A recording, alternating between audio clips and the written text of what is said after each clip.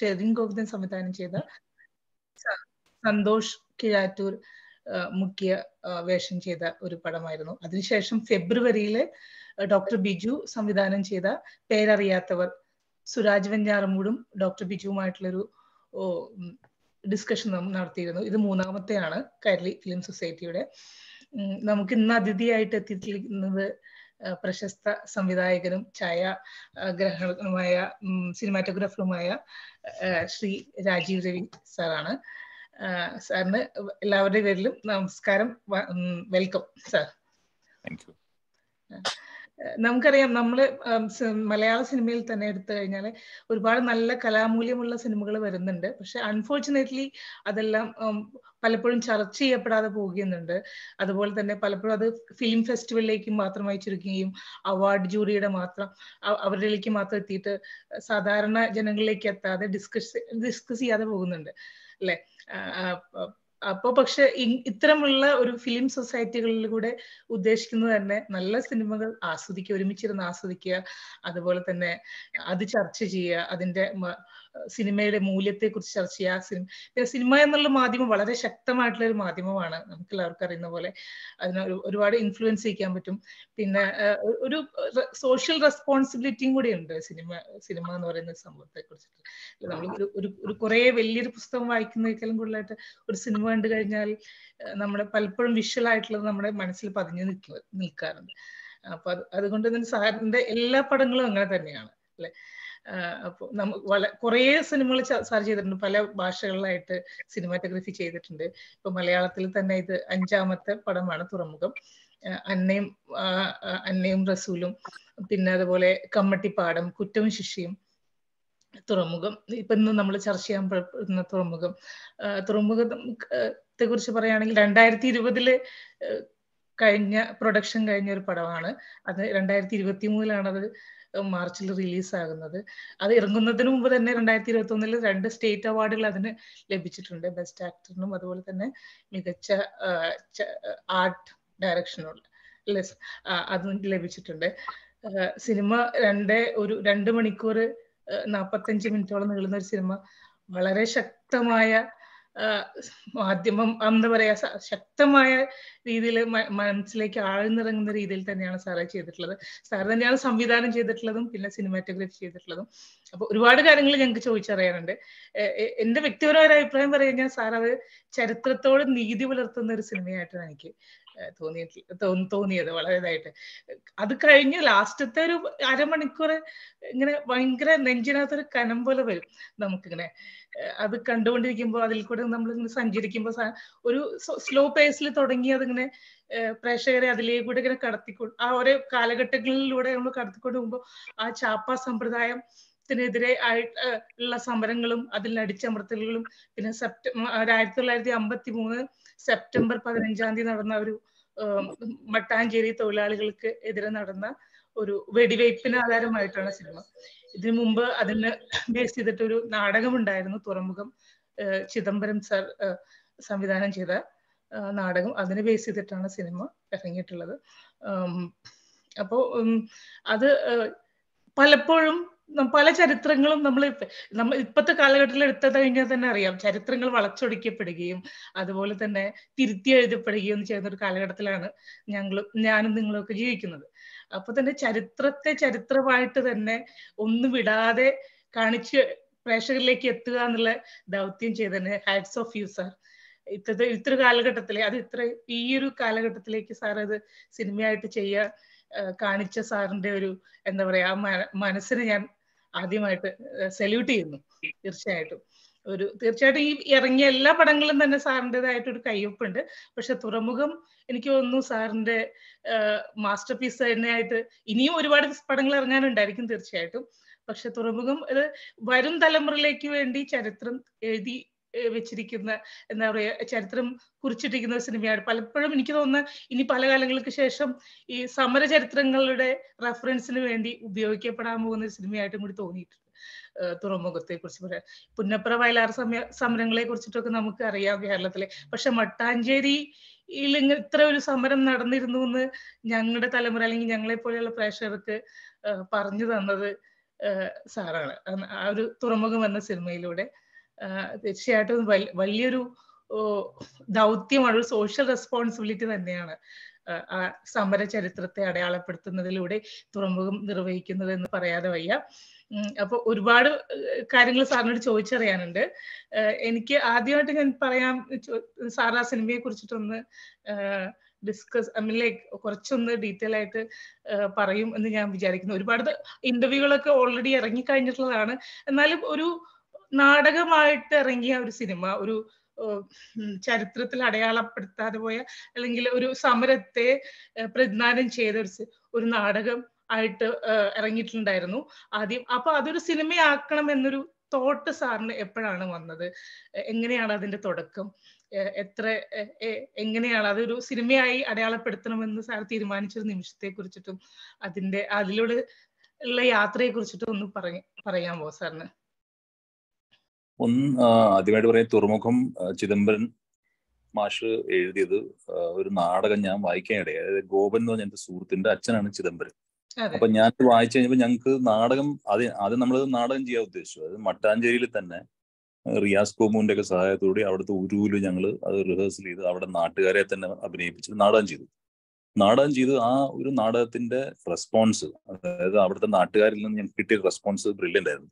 അതായത് അവർക്ക് അവരതൊരു വളരെ പേഴ്സണൽ ഒരു സംഭവമായിട്ട് എടുത്തത്. അതായത് അവരുടെ അവർ പണ്ട് കേട്ട് കേട്ടതും അതിൽ പങ്കെടുത്ത ആൾക്കാരും ഒക്കെ ആയിട്ട് അവർക്കതൊരു എന്താ പറയുക ഒരു കളക്റ്റീവ് മെമ്മറി എന്നൊക്കെ പറയില്ലേ? അതായത് വർഷങ്ങളായിട്ടും കിടക്കുന്ന ഒരു സാധനം. അതായത് ആരും പറഞ്ഞിട്ടില്ല. ഞാൻ ഞാൻ എറണാകുളത്ത് ജനിച്ചോളുന്ന നാടാണ്. എനിക്കറിയില്ലായിരുന്നു മട്ടാഞ്ചേരിൽ ഇങ്ങനത്തെ ഒരു സമരം നടന്ന കാര്യം എനിക്കറിയില്ലായിരുന്നു. ഞാൻ ജനിച്ചത് എഴുപതുകളിലാണ്. അപ്പൊ അമ്മ അറിയാനും ജോൺ അബ്രഹാന്റെ അമ്മ അറിയാനും മെൻഷൻ ചെയ്യുന്നുണ്ട് ഇതിനെ കുറിച്ച്. അത് രണ്ട് രണ്ട് മൂന്ന് വരി പറയുന്നുണ്ട് അത്രേ ഉള്ളൂ. അല്ലാണ്ട് നമ്മുടെ നാട്ടിൽ കൃത്യമായ സമയത്ത് സി പി ഐയും സി പി എമ്മും ചക്രയിടുക്കിൽ ഒരു ദിവസം ആചരിക്കുന്ന അല്ലാണ്ട് നമുക്ക് ഇതിനെക്കുറിച്ച് കൃത്യമായിട്ട് ധാരണ ഉണ്ടായിരുന്നില്ല. എന്താ സംഭവിച്ചത്? എന്തായിരുന്നു അതിന്റെ പുറകിൽ അറിയില്ലായിരുന്നു. അപ്പൊ അങ്ങനെ ഈ നാടകം വായിച്ചു കഴിഞ്ഞപ്പോൾ ഞങ്ങൾ ആദ്യം അത് നാടകം സ്റ്റേജ് ചെയ്യാൻ തീരുമാനിച്ചു. ആ സ്റ്റേജിങ് മൂന്ന് മൂന്ന് സ്റ്റേജിങ് നടന്നു മൂന്ന് ദിവസമായിട്ട്. ആ സ്റ്റേജിങ്ങിൽ ആ മനുഷ്യരുടെ ഒരു എന്താ പറയാ അവരുടെ ഒരു അത് ചെയ്യുന്നതിൽ അവർ അവർ ചെയ്തതെന്ന് വെച്ച് കഴിഞ്ഞാൽ അന്ന് അവിടെ നിന്ന് പുറത്തുനിന്ന് വന്ന ആൾക്കാരെ കയറ്റി കാണിക്കാനാണ് അവർ ആദ്യം അതിന് ഇൻട്രസ്റ്റ് കാണിച്ചത്. അവർ കയറുന്നുണ്ടായിരുന്നില്ല. നിങ്ങൾ എവിടെ നിന്ന് വന്നത് എറണാകുളത്ത് നിന്നാണോ? പാലക്കാട് നിന്നാണോ? എടപ്പള്ളി നിന്നാണോ? കോട്ടയത്ത് നിന്നാണോ? അപ്പൊ നിങ്ങൾ കയറി കാണും. അതായിരുന്നു അവരുടെ ആറ്റിറ്റ്യൂഡ് അപ്പൊ അത് അത് അറിഞ്ഞിട്ട് എനിക്ക് വലിയ സന്തോഷം തോന്നി. അങ്ങനെ ഞങ്ങൾ അത് സിനിമ ചെയ്യാൻ തീരുമാനിച്ചു. എന്ന് വെച്ചാൽ ഒന്ന് സിനിമ സോഷ്യൽ റെസ്പോൺസിബിലിറ്റി ഉള്ളൊരു മാധ്യമമാണ്. അത് മര്യാദ കൈകാര്യം ചെയ്യണം. ഒന്ന്.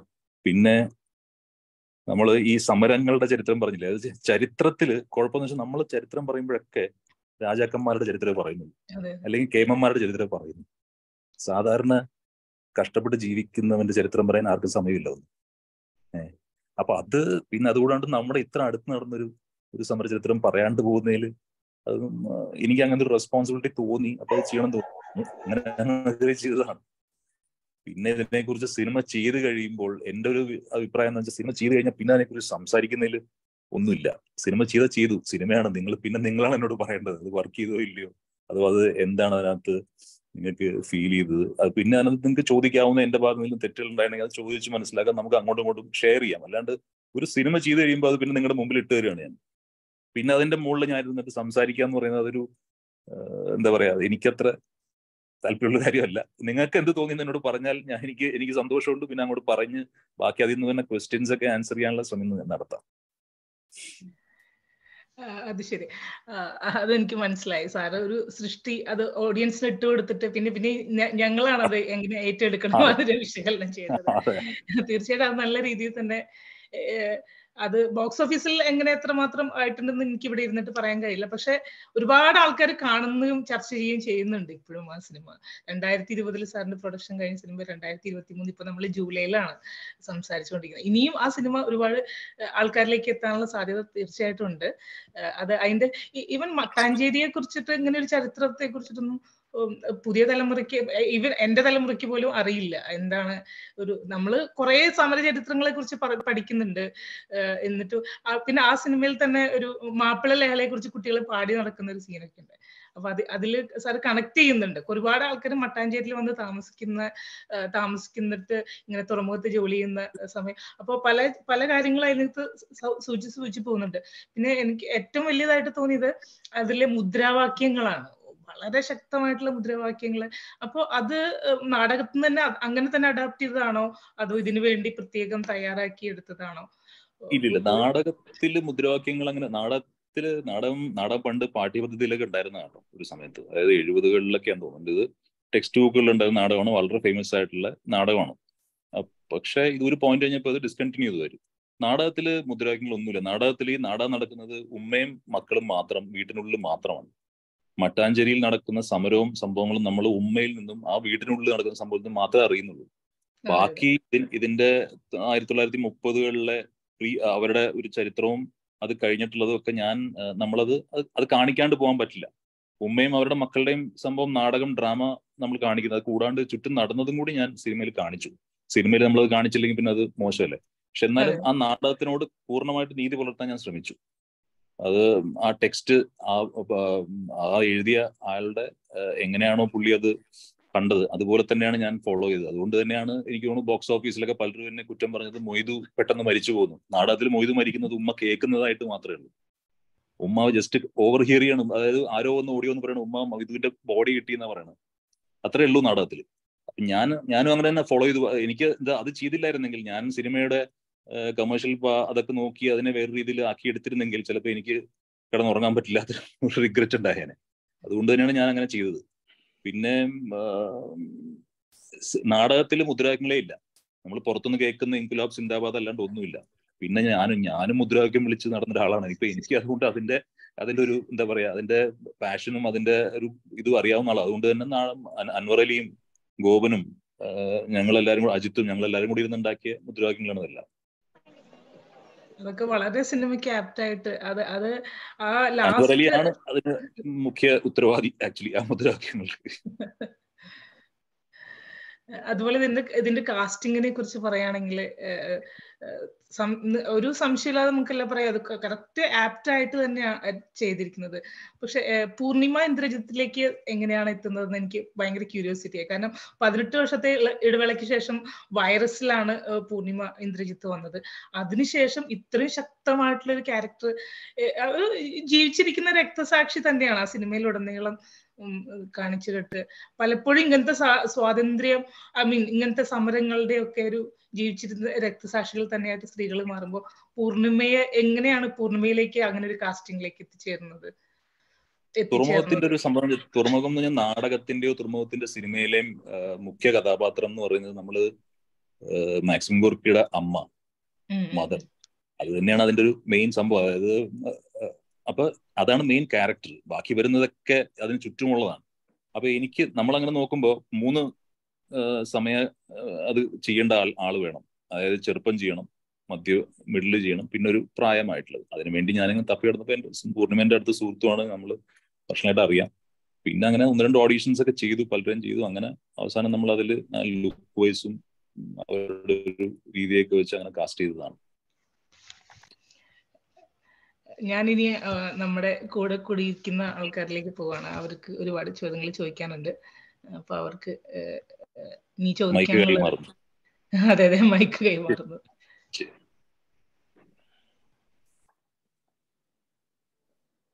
ആരാണ് ചോദിക്കുന്നത്?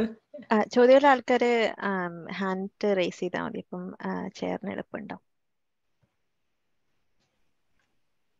അനുമോളാണോ ചെയർ ചെയ്യണേ? ആണ് ആണെന്ന് പറയപ്പെടുന്നു. ഓക്കെ ഞാൻ തന്നെ തുടങ്ങാം. Thank you sir thank you for being with us എനിക്ക് വളരെ അനുമോൾ ചോദിച്ച പോലെ വളരെ സിമിലർ ആയിട്ടുള്ള ഒരു ചോദ്യമായിരുന്നു ഞാൻ നാടകം അതിന്റെ തുറമുഖം എന്ന് നാടകം കണ്ടിട്ടില്ല. വായിച്ചിട്ടില്ല. അപ്പോ എത്രത്തോളം സിനിമ കണ്ടപ്പോൾ ഞാൻ ആലോചിച്ചത് എത്രത്തോളം നാടകത്തിന്റെ ടെക്സ്റ്റ് എത്രത്തോളം അങ്ങനെയായിരുന്നു എന്ന് എനിക്ക് തോന്നിയായിരുന്നു. സോ രണ്ട് മൂന്ന് സീൻസ് ഇപ്പം ഇപ്പം ദർശ വിജയൻ അസുഖമായിട്ട് തിരിച്ചു വരുന്ന ഒരു സീനുണ്ട്. അവിടെ അമ്മയും മോളും കണ്ണും കണ്ണും നോക്കുമ്പം തന്നെ മനസ്സിലാവും. അമ്മയ്ക്ക് മനസ്സിലാവും എന്താണ് മൂക്ക് പറ്റിയതെന്ന്. അതുപോലെ ഹംസ ചേട്ടന്റെ ഭാര്യ ഇഷ്ടമാണ് എന്ന് പറയാതെ അമ്മയ്ക്ക് അറിയാവുന്ന ഒരു സിറ്റുവേഷൻസ് അപ്പൊ കുറെ സറ്റിലിറ്റി ഇതിനകത്തുണ്ട്. നമ്മൾ സാധാരണ സിനിമയെ കാണുന്ന പോലെ ഒരു ഡയലോഗ് ഡെലിവറി കൂടെ അല്ല. എക്സ്പ്ലിസിറ്റ്ലി അല്ല അങ്ങനെ കുറെ അത് നാടകത്തിലും അങ്ങനെയാണോ? അതോ ഡയറക്ടോറിയൽ ബ്രില്യൻ ക്രാഫ്റ്റിംഗിന്റെ പാർട്ടാണോ എന്നുള്ളൊരു നാടകം എന്ന് പറയുമ്പോൾ നാടകം ഒരു നമുക്ക് പലപ്പോഴും ഡയലോഗുകളിലൂടെ ചെയ്യേണ്ട ഒരു പ്രൊസീനിയത്തിൽ അല്ലെങ്കിൽ ഒരു സ്റ്റേജിൽ തട്ടിൽ കയറിയിട്ട് ദൂരെ നിന്ന് ചെയ്യുന്ന സാധനമാണ്. നാടകത്തിൽ പലപ്പോഴും ഡയലോഗുകൾ ആവശ്യമായിട്ട് വരും. സിനിമ ദൃശ്യമാധ്യമമാണ്. സിനിമയിൽ ഒരു ക്ലോസപ്പ് ഉണ്ട്. കണ്ണുകൾ കാണിക്കാൻ നോട്ടം കാണിക്കാൻ. സിനിമ പലപ്പോഴും നമ്മുടെ ഒരു തെറ്റിദ്ധാരണ എന്ന് വെച്ചാൽ സിനിമ എന്ന് പറഞ്ഞാൽ ഡയലോഗ് ടു ഡയലോഗ് അല്ല.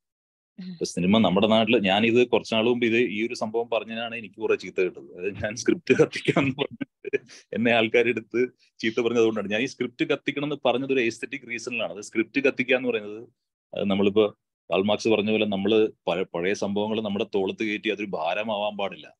അത് നമ്മളെ മുന്നോട്ട് നയിക്കേണ്ട എന്താ പറയണ്ടേ? സ്ലോഗൻസ് ആയി തീരുവായിട്ട് ആ സ്ക്രിപ്റ്റ് ഒരു ഭാരമായി തീരുന്നത് സ്ക്രിപ്റ്റ് എഴുതി വെച്ചിട്ട് അത് തന്നെ ഫോളോ ചെയ്യുക. അതായത് ഡയലോഗ് ടു ഡയലോഗ് അതേപോലെ കോപ്പി ചെയ്യുന്നതല്ല. സിനിമ എന്ന് പറയുന്നത് വളരെ മുന്നോട്ട് പോയി കഴിഞ്ഞു. സിനിമ ദൃശ്യമായി നിൽക്കുമ്പോൾ ലോക സിനിമയൊക്കെ വളരെ മുന്നോട്ട് പോയി കഴിഞ്ഞു. നമ്മളിപ്പോഴും പലപ്പോഴും നാടകത്തിന്റെ ഒരു സ്ക്രിപ്റ്റ് ആണ് നമ്മുടെ സ്ക്രിപ്റ്റ് അതായിരുന്നു ഞാൻ ഉദ്ദേശിച്ചത്. അത് തന്നെ സിനിമയിൽ സിനിമയിൽ സിനിമയിൽ നമുക്ക് പലതും ചെയ്യാം. ഇപ്പൊ ഈ ഈ നാടകത്തിൽ ഹംസ എന്ന് പറയുന്ന ക്യാരക്ടർ ചേട്ടനാണ്. മൊയ്തു അനിയനാണ്. അപ്പൊ എനിക്കിപ്പോ എനിക്ക് അങ്ങനത്തെ ആക്ടേഴ്സിനെ കിട്ടാണ്ടായപ്പോ വേറെ ആരും ഹംസ എഡിറ്റ് ചെയ്യാൻ വന്നില്ല. അർജുനെ കിട്ടിയായിരുന്നു ഞാൻ അനിയ അനിയനാക്കി.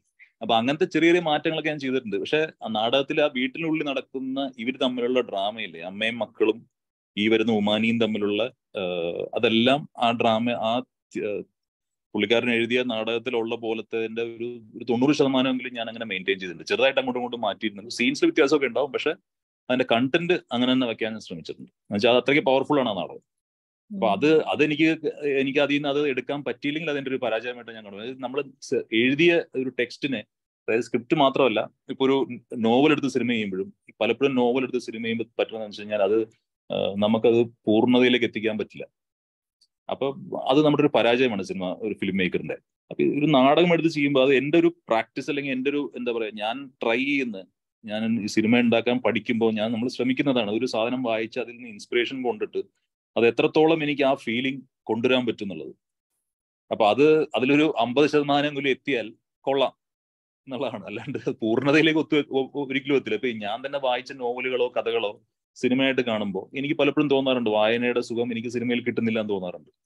പക്ഷെ അപ്പൊ ഞാനൊരു ഞാനൊരു പ്രാക്ടീസിങ് ഫിലിം മേക്കറാണ് അപ്പൊ ഞാനത് എന്റെ ഒരു സംഭവം വെച്ചാൽ ഞാനത് അതിനെ മാക്സിമം എങ്ങനെ എത്തിക്കാൻ പറ്റും എന്നുള്ളൊരു ശ്രമമാണ് ബേസിക് താങ്ക് യു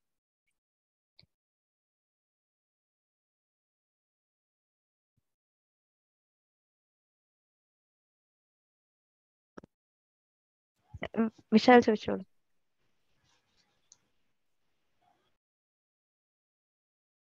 ഹായ് ആഹ് നമസ്കാരം. നമസ്കാരം. സോ ഈ സെയ്ദ് സെയ്ദാലി ആന്റണി പോലെയുള്ള സഹാക്കളുടെ ഒരു മൺമറഞ്ഞു പോയ ഒരു ചരിത്രം. അതോടൊപ്പം അവരോടൊപ്പം നിന്ന മറ്റ് ഈ മൂവ്മെന്റിന്റെ ഭാഗമായിട്ട് നിന്ന് പേരറിയാത്ത ആൾക്കാരെ കുറിച്ചുള്ള ഇതിൽ പങ്കാളികളായിട്ടുള്ള ആളുകളെ സമരത്തിൽ പങ്കാളികളായിട്ടുള്ള ആളുകളെ കുറിച്ചുള്ള ഒരു ഓർമ്മപ്പെടുത്തലും അവർക്കൊരു ട്രിബ്യൂട്ട് കൂടിയായിട്ടാണ് എനിക്ക് ഈ സിനിമ തോന്നിയത്. ഒരു ചരിത്രത്തോട് നീതി പുലർത്തുന്ന തരത്തിലുള്ള ഒരു പ്രവർത്തനമായിട്ടാണ് എനിക്ക് ഈ സിനിമയെ കാണാൻ കഴിയുന്നത്. അതിന് വളരെ നന്ദി. അത് ആദ്യം തന്നെ പറഞ്ഞോട്ടെ. ചോദ്യത്തിലേക്ക് വരാം. അതായത് ഇപ്പൊ ഈ ചരിത്ര പശ്ചാത്തലത്തിൽ പ്ലേസ് ചെയ്യുന്ന കഥകൾ പൊതുവെ നമ്മൾ കാണുമ്പോൾ ഏത് ഭാഷയിലാണ് ഏത് ഭാഷയിലാണെങ്കിലും കാണുമ്പോൾ നമുക്ക് കാണാൻ കഴിയുന്നത് അതിൽ കുറച്ച് അതിഭാവുകത്വങ്ങൾ ചേർക്കുന്നുണ്ട്. കഥാപാത്രങ്ങൾക്ക് പ്രത്യേകിച്ച് ഏതെങ്കിലും ഒരു കഥാപാത്രത്തിന് നായികയ്ക്കോ നായകനോ കൊടുക്കുന്ന ഈ അതിഭാവുകത്വങ്ങൾ ഈവൻ സീനുകൾക്ക് കൊടുക്കുന്ന ആ ഒരു പെർട്ടിക്കുലർ പ്രാധാന്യം ഒരു കൊമേഴ്സ്യൽ സൈഡും അതിൽ വരുന്നുണ്ട് എന്ന് നമുക്ക് കാണാൻ കഴിയും. പക്ഷേ രാജീവ് രവി സിനിമകളിൽ പൊതുവെ അതിപ്പോ കമ്പട്ടിപ്പാടം എടുത്താലും അല്ലെങ്കിൽ ഈ സിനിമ തന്നെ പ്രത്യേകിച്ച് എടുത്താലും ഒരു നേരത്തെ തുടക്കം മുതൽ ഒടുക്കം വരെ ഒരു ഒറ്റ വരിയിൽ നമുക്ക് പ്രത്യക്ഷമായിട്ട് എന്താണ് കഥ എന്ന് തുറന്നു കാണിക്കുന്ന ഒരു ശൈലിയാണ് കാണാൻ കഴിയുന്നത്. ഇപ്പൊ തമിഴിലെ വെട്ടർമാരൻ പോലെയുള്ള ശക്തമായ രാഷ്ട്രീയ പറയുന്ന സിനിമകൾ എടുക്കുന്ന ആളുകൾ പോലും അവരുടെ കഥാപാത്രങ്ങൾക്ക് ആ ഒരു ഭാവത്വം അതിഭാവത്വം കൊടുക്കുന്നതായിട്ട് നമുക്ക് കാണാൻ കഴിയും. എന്തുകൊണ്ടാണ് രാജീവ് രവി സിനിമകളിൽ ഇങ്ങനെ ഒരു ശൈലി അവലംബിക്കാൻ കാരണം? സത്യസന്ധത പുലർത്തുക എന്ന് പറയുന്നത് നമ്മുടെ എല്ലാ പ്രവൃത്തികളിലും നമ്മൾ ശ്രമിച്ചുകൊണ്ടിരിക്കുന്ന കാര്യമാണ്. സിനിമയിലെ കുഴപ്പമെന്ന് വെച്ചാൽ സിനിമയിലെ ഈ കമേഴ്ഷ്യൽ വയബിലിറ്റി നോക്കിക്കൊണ്ട് നമ്മൾ പലപ്പോഴും നായക നായിക സങ്കല്പങ്ങളെ വെച്ച് നമുക്ക് നായകനെ മുന്നിൽ നിർത്തി നായകന് ചുറ്റും മാത്രം കഥയെ നിർത്തിക്കൊണ്ട് ചെയ്യേണ്ടി വരും. ഞാനത് എന്റെ ജീവിതത്തിൽ പത്ത് മുപ്പത് വർഷമായിട്ട് ചെയ്തുകൊണ്ടിരിക്കുകയാണ് ഷൂട്ട് ചെയ്തുകൊണ്ടിരിക്കുകയാണ്. എനിക്ക് അതിൽ വലിയ എക്സൈറ്റ്മെന്റ് ഒന്നും തോന്നാറില്ല ഇപ്പോൾ. ഷൂട്ട് ചെയ്യുന്നതിൽ കുഴപ്പമൊന്നുമില്ല. ഷൂട്ട് ചെയ്യാൻ ഞാനിപ്പോൾ നിങ്ങൾ ഇംഗ്ലണ്ടിൽ കഴിഞ്ഞ മൂന്ന് വർഷമായിട്ട് ഞാൻ അവിടെ തന്നെ ഒന്ന് അക്ഷയ് കുമാറിന്റെ പടങ്ങൾ ഷൂട്ട് ചെയ്തുകൊണ്ടിരിക്കുകയാണ് കണ്ടിന്യൂസ് ആയിട്ട്. എനിക്കത് ചെയ്ത് ചെയ്ത് എനിക്കതിൽ അതൊരു മെക്കാനിക്കൽ ഫോമാണ് ഞാൻ സംവിധാനം ചെയ്യുമ്പോൾ എനിക്ക് എനിക്ക് ട്രൂ ജെന്യൂൻ ആയിട്ടുള്ള ഞാൻ കണ്ട് അല്ലെങ്കിൽ സിനിമയിലേക്ക് വരാൻ എന്നെ ഇൻസ്പയർ ചെയ്ത ഫിലിം മേക്കേഴ്സിനെ വെച്ച് നോക്കുമ്പോൾ എനിക്ക് അതിന്റെ ഒരു എനിക്ക് ചെയ്യാൻ പറ്റാറില്ല ഒന്ന്. അതുകൊണ്ട് തന്നെയാണ് പലപ്പോഴും ഞാൻ അത് ചെയ്തിട്ട് എനിക്ക് പിന്നെ അത് റിഗ്രറ്റ് ചെയ്തിട്ടുണ്ട്. ഞാൻ കമ്മട്ടിപ്പാടത്തിൽ ഞാനൊരു ഒരു പത്ത് ശതമാനം കോംപ്രമൈസ് ചെയ്തിട്ടുണ്ട് പല സംഭവങ്ങളും അതായത് കുറച്ചൊന്ന് ജനങ്ങളെ കയറ്റി സിനിമ കാണിക്കണം എന്നുള്ളൊരു ഒരു വാശിയിൽ ഞാൻ അതിനകത്ത് കുറച്ച് കോംപ്രമൈസ് ഒക്കെ ചെയ്തു. പക്ഷെ അത് എനിക്കത് പിന്നെ എനിക്ക് തോന്നി അത് അതിന്റെ ആവശ്യം ഉണ്ടായിരുന്നു എന്ന് ചോദിച്ചാൽ അത് ഞാൻ എന്താണ് കമ്മ്യൂണിക്കേറ്റ് ചെയ്യാൻ താല്പര്യം ഉണ്ടായിരുന്ന ഒരു സംഭവം അങ്ങോട്ട് ആൾക്കാരിലേക്ക് എത്തിക്കാൻ ചിലപ്പോൾ അത് ഗുണം ചെയ്തിട്ടുണ്ടാവും. പക്ഷെ പിന്നെ ഞാൻ ഇരുന്ന് കാണുമ്പോൾ എനിക്കതൊരു ബുദ്ധിമുട്ടാണ്. ഈ സിനിമ നമ്മളും പിന്നെ പിന്നെ അവിടെ വെച്ച് കാണാൻ കാണേണ്ടി വരുമല്ലോ. അപ്പൊ ആ ഒരു പ്രോസസ്സ് ഇനി അത് വേണ്ട എന്ന് തീരുമാനിച്ച് തീരുമാനം എടുത്ത് തന്നെ ചെയ്തതാണ് ഞാൻ. അതൊരു വളരെ സ്ട്രോങ് ആയിട്ടുള്ള അതുകൊണ്ട് തന്നെ എനിക്ക് എന്താ പറയണ്ട ബോക്സ് ഓഫീസിൽ നേരത്തെ പറഞ്ഞ പോലെ അത്രയും വിജയകരമായിരുന്നില്ല എന്നുള്ള കാര്യം പലരും എന്നെ പിന്നെയും പിന്നെയും ഓർമ്മപ്പെടുത്തിക്കൊണ്ടിരിക്കുന്നുണ്ട് പല ഭാഗത്തുനിന്നും. പിന്നെ സിനിമ എനിക്ക് തോന്നുന്നു നമ്മൾ നേരത്തെ പറഞ്ഞ പോലെ ഞാനും നിങ്ങളൊക്കെ ഞാൻ എൺപതുകളുടെ അവസാനം തൊട്ട് ഫിലിം സൊസൈറ്റികളിൽ ഇൻവോൾവ് ആയിട്ടുള്ള ആളാണ്. അതായത് ഫിലിം സൊസൈറ്റികളിൽ ഞങ്ങൾക്ക് അന്ന് പണ്ട് ഇന്റർനെറ്റോ ഒന്നും ഇല്ല തിയേറ്ററിൽ പോയി സിക്സ്റ്റീൻ എം എം പ്രൊജക്ടറിൽ എറണാകുളത്ത് തന്നെ അങ്ങനെ സിനിമ കാണാൻ വലിയ ബുദ്ധിമുട്ടായിരുന്നു സിനിമകൾ കാണാൻ. അപ്പൊ അങ്ങനെ ഫിലിം സൊസൈറ്റികളിൽ പോയി ചർച്ചകളിൽ നേരിട്ട് പങ്കെടുത്ത് നേരിട്ട് ഫിലിം മേക്കേഴ്സിനെ കണ്ട് ചർച്ചകളിൽ പങ്കെടുത്ത് സിനിമ കണ്ടിട്ടുള്ള ഒരു ഒരു ഒരു ഇതുണ്ട് ഞങ്ങൾക്ക് ഞങ്ങൾ പിന്നെ ഇൻസ്റ്റിറ്റ്യൂട്ടിൽ ചെന്നിട്ടാണ് പിന്നെ സിനിമകൾ അങ്ങനെ ഞാൻ കാണാൻ സാധിച്ചത്. അതും ഒരു പരിധി വരെ അങ്ങനത്തെ സിനിമകൾ മാത്രമേ കണ്ടിട്ടുള്ളൂ. മെയിൻ സ്ട്രീം സിനിമകൾ കണ്ട് ഇൻസ്പയർഡ് ആയ ഒരാളല്ല ഞാൻ സിനിമയിൽ വന്നത്. ഞാൻ അതിൽ പ്രവർത്തിക്കുന്നു ഞാൻ അതിൽ എന്താ പറയണ്ടേ ആ ഒരു തൊഴിൽ മേഖലയിലുള്ള കാരണം എനിക്ക് ചെയ്യുന്നു. പക്ഷെ ഞാൻ കണ്ട് പരിചയ ഇത് ഇന്നെ ഇൻസ്പയർഡ് ആക്കിയിട്ടുള്ളതും നല്ല സിനിമകളാണ്. നല്ല സിനിമ എന്ന് പറയുമ്പോൾ കേരളത്തിലാണെങ്കിൽ ജോർജ് സാറിന്റെ പോലത്തെ സിനിമകൾ കെ ജി ജോർജിന്റെ സിനിമകൾ പൃഥ്വി ഘടകിന്റെ സിനിമകൾ. അതും സിനിമകൾ സിനിമകൾ എന്നല്ല ഒരു മനുഷ്യന്റെ എന്തൊരു പ്രവൃത്തിയും പൊളിറ്റിക്കലാന്ന് വിശ്വസിക്കുന്ന ആളാണ് ഞാൻ. അതും ഓരോ ശ്വാസവും പൊളിറ്റിക്കലാന്ന് വിശ്വസിക്കുന്നുള്ളൂ അതുകൊണ്ട് എന്റെ ഞാൻ ചെയ്യുന്ന ഓരോ സംഭവങ്ങളും കൃത്യമായിട്ട് എന്റെ പെർസ്പെക്റ്റീവും ഞാൻ എന്തോ ഉദ്ദേശിക്കുന്നത് അതാ അതിൽ വരണമെന്ന് ആഗ്രഹിക്കുന്ന ഒരാളാണ്. അതുകൊണ്ട് അത് ഈ പ്രാവശ്യം തുറമുഖം ചെയ്തപ്പോൾ ഞാൻ അതിൽ ഒരു ഒരു തരി പോലും കോംപ്രമൈസ് ചെയ്യില്ല എന്ന് തീരുമാനിച്ചത്. ഇത് അധ്വാനിക്കുന്ന തൊഴിലാളികളുടെ സിനിമയാണ്. അതായത് സ്പോണ്ടേനിയസ് ആയിട്ട് കൊച്ചിയിൽ നടന്ന് അതായത് നേരത്തെ വിശാൽ പറഞ്ഞ പോലെ ആന്റണിയും സേതും സേതാൽവിയും അതിനകത്ത് മരിച്ചു. പക്ഷെ ഒരു വേറൊരു സത്യാവസ്ഥ നമ്മൾ മനസ്സിലാക്കേണ്ടത് അമ്പത്തി മൂന്നിൽ അവിടെ മലബാർ സ്പെഷ്യൽ പോലീസാണ് കൊച്ചിയും തിരുവിതാംകൂറും വ്യത്യാസമുണ്ട്. കേരള പോലീസ് തുടങ്ങിയിട്ടില്ല. അപ്പൊ ഞങ്ങൾ റിസർച്ച് ചെയ്തപ്പോൾ കണ്ടുപിടിച്ചതെന്ന് വെച്ചാൽ ഇതിനകത്ത് ഈ സമരത്തെക്കുറിച്ചോ ഈ സമരത്തിൽ ഇഞ്ചേർഡ് ആയിട്ടുള്ള ആൾക്കാരെ കുറിച്ചോ മരിച്ചവരെ കുറിച്ചോ ഒന്നും ഒരു രേഖയുമില്ല. ഒരു രേഖയുമില്ല. ഒരു ഡോക്യുമെന്റേഷനും ഇല്ല. പിന്നെ ഞങ്ങൾ അവിടെ റിസർച്ച് ചെയ്തപ്പോൾ കേട്ട കഥകൾ എന്ന് പറഞ്ഞാൽ ഈ മൂന്നുപേരും മാത്രമല്ല വെടികൊണ്ട് തല തലയിൽ വെടികൊണ്ട് തെറിച്ചു പോയി എന്നൊക്കെ പറഞ്ഞ കഥകളും. അതായത് എത്ര പേര് മരിച്ചു എന്ന് പോലും സത്യം പറഞ്ഞ ആർക്കും അറിയില്ല. എന്നുവെച്ചാൽ അന്നത്തെ ഒരു കണക്ക് വെച്ച് എന്റെ ഒരു എന്റെ ഒരു നമ്മുടെയൊക്കെ ഒരു ഇമാജിനേഷനും ഒക്കെ ആയിരിക്കാം. പക്ഷെ അന്നത്തെ ആരെങ്കിലും വെടികൊണ്ട് മരിച്ചിട്ടുണ്ടെങ്കിൽ എടുത്താൽ തോട്ടിലേക്ക് ഇട്ടിട്ടുണ്ടെങ്കിൽ ചിലപ്പോൾ ഒഴുകി പോയി കാണും. അറിഞ്ഞിട്ട് പോലും ഉണ്ടാവില്ല അത്രത്തോളം തൊഴിലാളികൾ അവിടെ ഉണ്ട്. തുരുത്തി കോളനിയിൽ തന്നെ ഇഷ്ടംപോലെ തൊഴിലാളികളും അവിടെ നിന്ന് ഇവിടുന്ന് പണിയെടുക്കുന്ന ഇഷ്ടംപോലെ ആൾക്കാരുണ്ട്. പിന്നെ ഒരു സ്പോണ്ടേനിയസ് ആയിട്ടുള്ള ഒരു മൂവ്മെന്റ് ആയിരുന്നു. അതായത് ആൾക്കാർ സഹി കെട്ട് ജോലി ഇല്ലാണ്ട് പട്ടിണിക്ക് വന്നിട്ട് മനുഷ്യൻ എന്താ പറയാ തെരുവിലിറങ്ങി എന്തിനും തയ്യാറായിരുന്നു അവർ. അത് കത്തിയെടുത്തുകൊണ്ടാണ് ഇറങ്ങിയ എല്ലാവരും വന്ന്. അപ്പൊ അതിൽ എത്ര പേര് മരിച്ചു എന്നൊക്കെ പോലീസ് പോലും കളക്ടറിന്റെ റിപ്പോർട്ട് പോലും ഇല്ല ബ്രിട്ടീഷ് ഒരു റിപ്പോർട്ടും ഇല്ല. ഒരു കേരള പോലീസിന് ഇതിനെക്കുറിച്ച് ഒന്നുമില്ല. ഒരു ഫയൽ പോലും ഇല്ല. അപ്പൊ അങ്ങനെ നോക്കുമ്പോൾ അതിനകത്ത് ഞാനൊരു ചെറിയൊരു ഒരു എന്താ പറയണ്ടേ ഫ്രീഡം ഓഫ് ഒരു ലിബർട്ടി ഞാൻ എടുത്തു ഞാൻ. എടുത്തിട്ട് ഞാൻ വേറെ കുറച്ച് ആൾക്കാരെയും കൂടി കാണിച്ചു.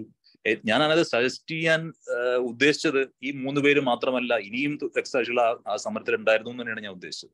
അതായത് ലോറൻസ് സഖാവിനോട് ഞാൻ ഇതിനെക്കുറിച്ച് സംസാരിക്കും ലോറൻസ് സഖാവ് എടപ്പള്ളി സമരം കഴിഞ്ഞിട്ട് ചികിത്സയിലായിരുന്നു വീട്ടിൽ ഞാറക്കലിൽ.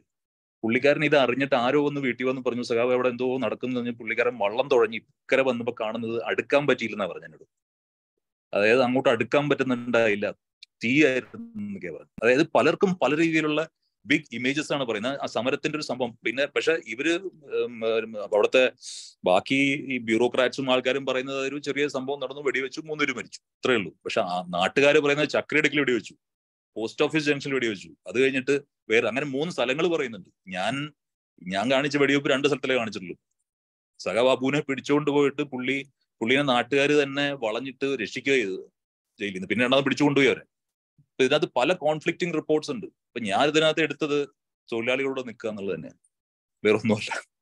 ബാക്കി ഇതിനകത്ത് സി ടി ടിയുടെ ഭാഗം സി ടി ടിക്കാർ ഇപ്പൊ തിരിച്ചു പറയുന്നുണ്ട്. അവർ പറയുന്നുണ്ട് നിങ്ങൾ പറഞ്ഞ പോലെ അല്ല ഇതിനകത്ത് വേറെ കുറെ സംഭവങ്ങൾ ഉണ്ടെന്നൊക്കെ പറയുന്നുണ്ട്. പക്ഷെ ഞാനത് കണ്ടത് പ്രോളിറ്റേറിയന്റെ ഒരു സ്പോണ്ടേനിയസ് ഒരു സ്ട്രഗിളിനെ കുറിച്ച് മാത്രമാണ് ഞാൻ ചെയ്തത്.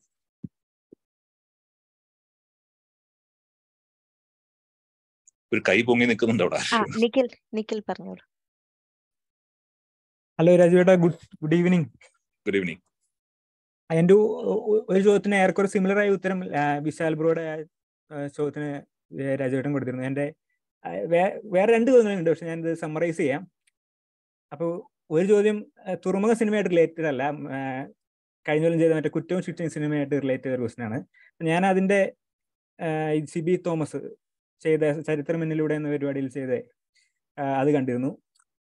അപ്പൊ അതിനോട് തന്നെ ആ റിയൽ സ്റ്റോറിയോട് നീതി പുലർത്താൻ രാജുവേട്ടൻ ശ്രമിച്ചിട്ടുണ്ട്. പക്ഷേ Indian some commercial things also matter right ഇപ്പൊ ഞാൻ ഞാനും എന്റെ കൂട്ടുകാരും പലരും ഒരു കുറച്ചുകൂടി ഒരു കൊമേഴ്സ്യൽ ആവായിരുന്നില്ല എന്ന് തോന്നിയിട്ടില്ലേ? ഇപ്പൊ തീരൻ പോലുള്ള സിനിമ ഏറെക്കുറെ സിമിലർ സബ്ജക്ട് കൈകാര്യം ചെയ്യുന്ന സിനിമയാണ് തീരൻ തമിഴിൽ ഇറങ്ങി അപ്പൊ ഈ സിനിമ കുറ്റവും ശിക്ഷയും എന്ന സിനിമ അതുപോലെ ആക്കായിരുന്നില്ലേ? ഇപ്പൊ നേരത്തെ നേരത്തെ പറഞ്ഞിരുന്നു ഇപ്പൊ പരമാവധി സത്യസന്ധത പുലർത്താൻ ശ്രമിച്ചതാണ്. പക്ഷെ എന്നിരുന്നാൽ പോലും ഒരു financial element that matters right അത് ഈ പറഞ്ഞ പോലെ കമൽ മറ്റേ തീരനെ പോലെ ആവരുന്ന് വിചാരിച്ചു തന്നെ ചെയ്തതാണ്. അതായത് കുറ്റവും ശിക്ഷയുടെ കാര്യം പറയുകയാണെങ്കിൽ കുറ്റവും ശിക്ഷ എന്ന് പറഞ്ഞാൽ ഞാൻ അതിനെ കാണുന്നത് വെച്ച് കഴിഞ്ഞാൽ ഒരു റിപ്പോർട്ടാജ് ഇല്ലേ? റിപ്പോർട്ടിങ് അതായത് ആ കഥ എഴുതുന്ന ഒരു പോലീസുകാരനാണ്. ഈ കഥ എഴുതുന്ന ഒരു കഥ പറയുന്ന ഒരു പോലീസുകാരനാണ്. പോലീസുകാരൻ പറയുന്നത് പലതും ചെയ്യാൻ കൊള്ളാന്നുള്ള കാര്യമാണ് അപ്പൊ നമ്മൾ ഞാനും അത് കണ്ടുപിടിക്കുകയാണ്. മനസ്സിലായില്ലേ? എന്നോട് ഒരാളൊരു ഒരു കഥ പറയുന്നു. ഞാൻ ആ കഥയോടൊപ്പം ട്രാവൽ ചെയ്യുന്നു. ഞാൻ പോകുന്നു. ഞാൻ അതിന്റെ ഓരോ ഘട്ടങ്ങളിലും ഞാൻ അതിനകത്തെ പ്രോസ് ആൻഡ് കോൺസ് ആണ് കാണുന്നത്. ഇയാൾ ഈ പറഞ്ഞത് ശരിയാണോ? അപ്പൊ ഞാനും സെവിയും തമ്മിൽ സംസാരിക്കുന്നുണ്ട്. അപ്പൊ ഇതിനകത്ത് പറയുന്ന പോലെ ഇവർക്ക് വളരെ സിമ്പിൾ എക്സാമ്പിൾ പറയാം. ഇവർ കയറി അറ്റാക്ക് ചെയ്ത് പത്ത് മിനിറ്റിനുള്ളിൽ പുറത്തിറങ്ങി എന്നാ പറയുന്നത്. ഈ പത്ത് മിനിറ്റിനുള്ളിൽ ഇവർക്ക് തൊണ്ടി മുതൽ കിട്ടിയെന്ന് പറയുന്നുണ്ട്. അതെവിടെ നിന്ന് കിട്ടി ഇവർക്ക്?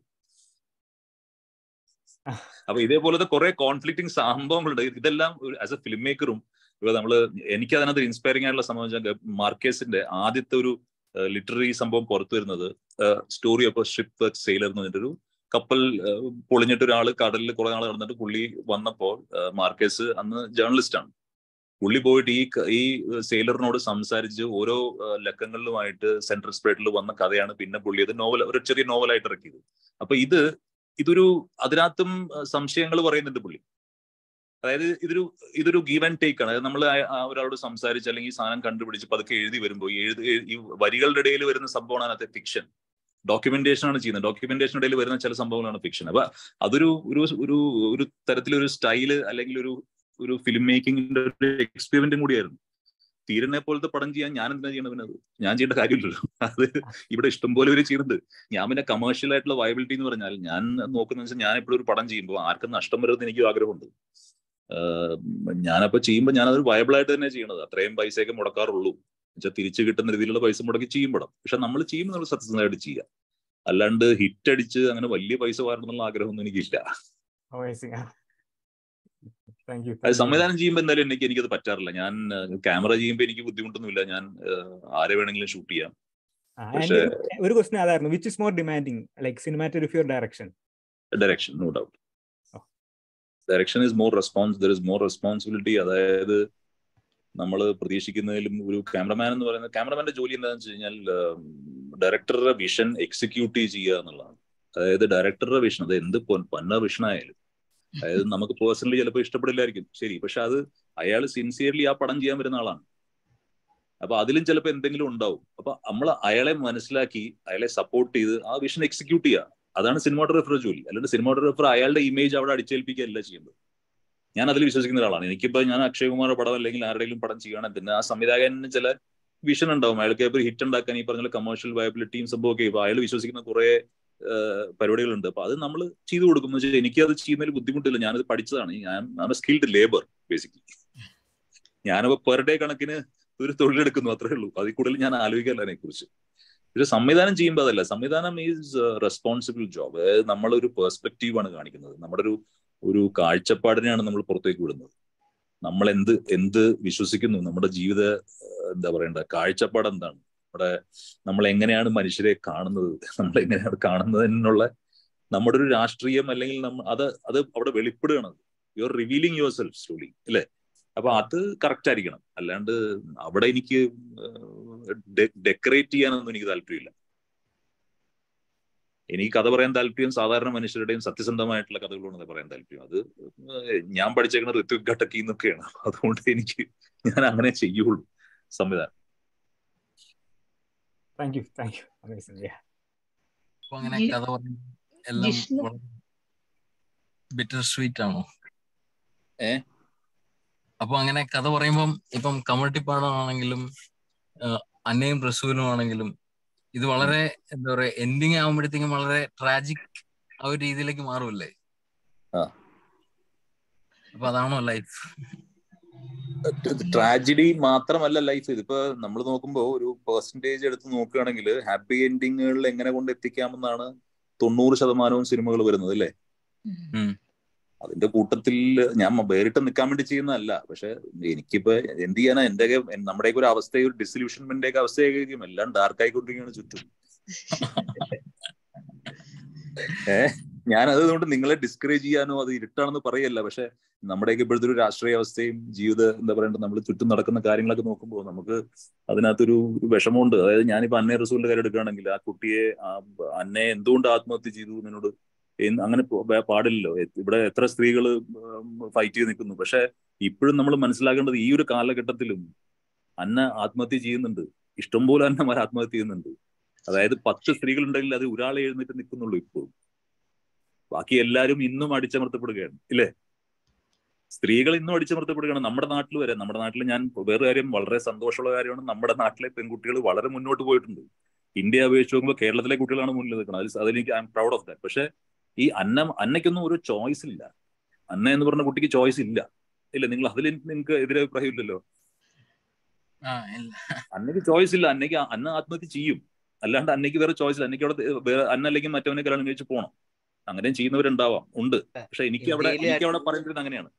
ഇന്ത്യയിൽ അറ്റ് ദി മൊമെന്റ് പല സ്റ്റേറ്റുകളിലും ആന്റി ഇന്റർഫേത്ത് മാരേജ് ബില്ല് ഉണ്ടല്ലോ. അതായത് ഒരു ക്രിമിനൽ അല്ലെങ്കിൽ രീതിയിലേക്ക് പല സ്റ്റേറ്റുകളും മാറ്റിയിട്ടുണ്ട് എന്നാണ് എന്റെ അല്ലെങ്കിൽ അതിനുള്ള ശ്രമങ്ങൾ നടന്നുകൊണ്ടിരിക്കുന്നു എന്നാണ് ഞാൻ മനസ്സിലായിട്ടുള്ളത്. Inter caste inter religions inter religion interfaith മാരേജിനെ ban ചെയ്യുന്ന ബില്ലുകൾ വന്നിട്ടുണ്ടോന്ന് വന്നുകൊണ്ടിരിക്കുന്നുണ്ടോ അങ്ങനെയൊന്നും വന്നിട്ടുണ്ട് അങ്ങനത്തെ ബില്ലൊന്നും വന്നിട്ടില്ല. വരാനുള്ള ശ്രമങ്ങൾ ചില സ്റ്റേറ്റുകൾ നടത്തുന്നുണ്ട് എന്നാണ് സ്റ്റേറ്റ്മെന്റിൽ ഞാൻ കണ്ടത്. ശ്രമിക്കുന്നുണ്ടെന്നുണ്ട് പക്ഷെ അതൊന്നും അതില്ല. അതൊക്കെ വന്നു കഴിഞ്ഞാൽ പിന്നെ നമ്മളിവിടെ ജീവിക്കാൻ പാടില്ല. നിങ്ങളൊക്കെ രക്ഷപ്പെട്ടു പോയി ഞങ്ങളിവിടെ ജീവിക്കുന്നില്ല അതൊക്കെ ശ്രമിക്കുന്നുണ്ടാവും പക്ഷെ അങ്ങനെയൊന്നും വന്നിട്ടില്ല. നമ്മൾ എന്തൊക്കെ പറഞ്ഞാലും സി ഞാൻ ഈ ഡാർക്ക് ആണെന്നൊക്കെ പറഞ്ഞാലും പോസിറ്റീവ് ആയിട്ടുള്ള കാര്യങ്ങളൊക്കെ നടക്കുന്നുണ്ട് ഉറപ്പായിട്ട്. പക്ഷെ സിനിമകളിൽ അങ്ങനെ ഒരു ഹാപ്പി എൻഡിങ്ങിലേക്ക് അറിയില്ല. ചിലപ്പോൾ അത് എന്റെ ഒരു അവസ്ഥ കൊണ്ടായിരിക്കാം. അല്ലെങ്കിൽ ഞാൻ എന്റെ സിനിമ എന്ന് പറഞ്ഞ ഒബ്സർവേഷൻ ആണ്. സിനിമയുടെ ബേസിക് റൂൾ ഒബ്സർവേഷനാണ് അപ്പൊ ഞാൻ എന്റെ ഇത്രയും ഞാൻ ഈ അമ്പത് വയസ്സായി ഇത്രയും കാലയളവിൽ ഞാൻ കണ്ട് പരിചയിച്ച് വായിച്ച് കണ്ടുകൊണ്ടിരിക്കുന്ന സംഭവങ്ങളായിരിക്കും എന്റെ പുറത്ത് എന്റെ ഇതിൽ നിന്ന് വരുന്ന ഐറ്റം ഞാൻ പൊട്ടറിയുന്ന അല്ലെങ്കിൽ എക്സ്പ്രസ് ചെയ്യുന്നത് അങ്ങനെയായിരിക്കാം. അതുകൊണ്ട് ഡിഫോൾട്ട് ആയിട്ട് സംഭവം ട്രാജഡി ആയി പോകുന്നതാണ്. അല്ല എന്റെ ലൈഫ് അങ്ങനെ ട്രാജിക് ഞാൻ പറഞ്ഞത് പക്ഷെ what I'm seeing around me is അതുകൊണ്ടാണ് അങ്ങനെ ആയിപ്പോയത്. ഞാനും വളരെ ഫോഴ്സിബിൾ ആയിട്ട് ഇടയ്ക്കിടയ്ക്ക് ആലോചിക്കാറുണ്ട് ഒരു ഹാപ്പി എൻഡിങ് പടം ചെയ്യണം ഒരു റോം കോം ചെയ്യണം എന്നൊക്കെ ആലോചിക്കും. പിന്നെ വേണ്ട നമ്മളെ കൊണ്ടത് പറ്റില്ല എന്ന് മനസ്സിലാക്കിയിട്ട് വേണ്ടെന്ന് നോക്കിയിട്ടാണ്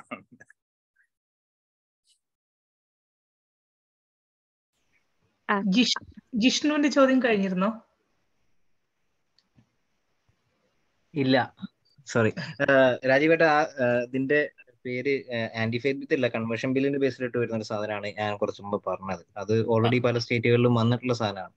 ആന്റി കൺവേർഷൻ ആന്റി കൺവേർഷൻ അത് ബേസിക്കലി ഇതുമായിട്ട് ബന്ധ കൂടുതലും വന്നിട്ടുള്ള ഇഷ്യൂ റിലേഷൻഷിപ്പുകളുമായിട്ട് ബന്ധപ്പെട്ട് തന്നെയാണ്.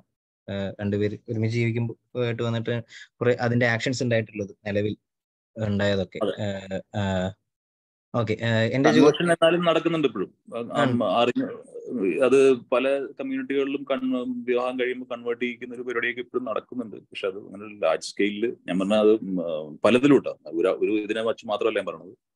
അത് പക്ഷെ ഇപ്പൊ അതൊക്കെ ഇവിടെ കുട്ടികളൊക്കെ അത്യാവശ്യം കേരളത്തിൽ എന്തായാലും മുന്നോട്ട് പോയിട്ടുണ്ട്. കേരളത്തിൽ അങ്ങനെ വലിയ പ്രശ്നങ്ങളൊന്നും ഞാൻ കാണുന്നില്ല. എറണാകുളത്ത് ഇപ്പൊ പുറത്തിറങ്ങി കഴിഞ്ഞാൽ തന്നെ വളരെ ഇൻട്രസ്റ്റിംഗ് കാഴ്ചകളാണ് നമുക്ക് കാണാൻ പറ്റുക. അതായത് freedom and they have taken it step ahead എന്ന് പറയാമല്ലോ നമ്മുടെ ഞങ്ങളുടെയൊക്കെ സമയത്ത് നിന്നൊക്കെ മുന്നിലേക്ക് പോയി.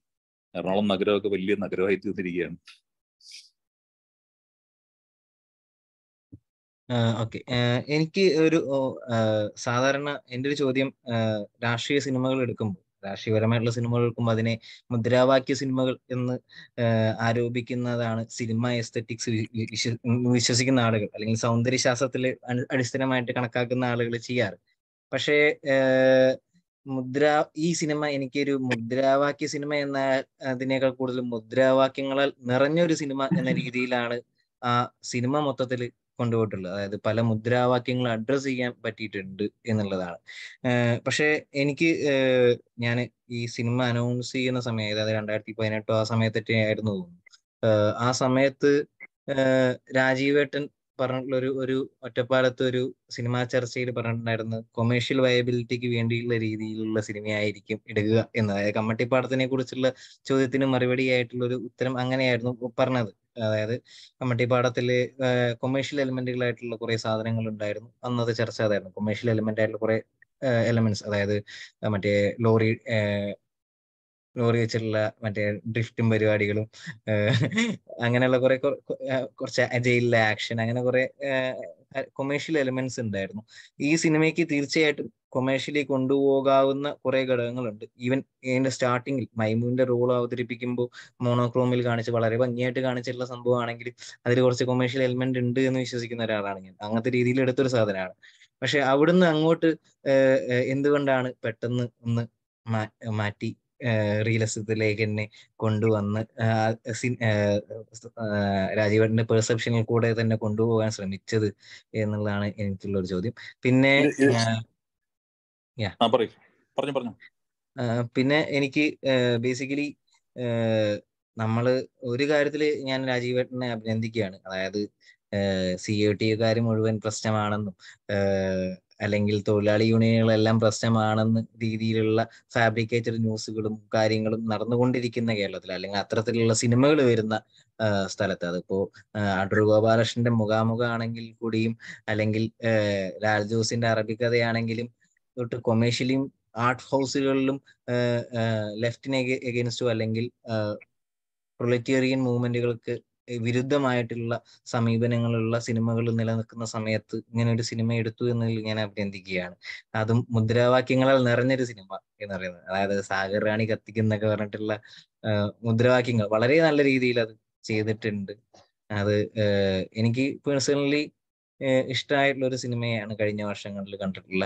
പക്ഷേ എനിക്കൊരു വിമർശനം പറയാനുള്ളത് അതിന്റെ ക്ലൈമാക്സിലൂടെ എടുപ്പിച്ച ആ ഷൂട്ട് ഔട്ടിന്റെ ഭാഗത്ത് എന്തെങ്കിലും ഒരു ടെക്നിക്കൽ പരമായിട്ട് എന്തെങ്കിലും പ്രശ്നം രാജീവന് തോന്നിയിട്ടുണ്ട്? എനിക്ക് അതിലൊരു ഒരു ഒരു ഫ്ലോ അവിടെ നഷ്ടപ്പെടുന്ന പോലെ തോന്നുന്നുണ്ട്. അതായത് ആ രക്തസാക്ഷിത്വത്തിനെ മൊത്തത്തിൽ എങ്ങനെ അതിലേക്ക് എല്ലാ മൊത്തം ഹംസയുടെയോ മറ്റുള്ള ആളുകളുടെ രക്തസാക്ഷിത്വത്തിനെ മൊത്തം രക്തസാക്ഷിത്വമായിട്ട് അവസാനിപ്പിക്കുന്ന രീതിയാണ് തുറമുഖത്തിലും ഉള്ളത് നാടകത്തിലും സിനിമയിലും ഉള്ളത് പക്ഷെ അതിനെ അവിടെ അതിലൊരു ശരിയായ രീതി ഇമ്പാക്ട്ഫുൾ ആയി തോന്നിയില്ല എന്ന് എനിക്ക് പറയാനുണ്ട്. അതായത് കമ്പയർഡ് ടു ദ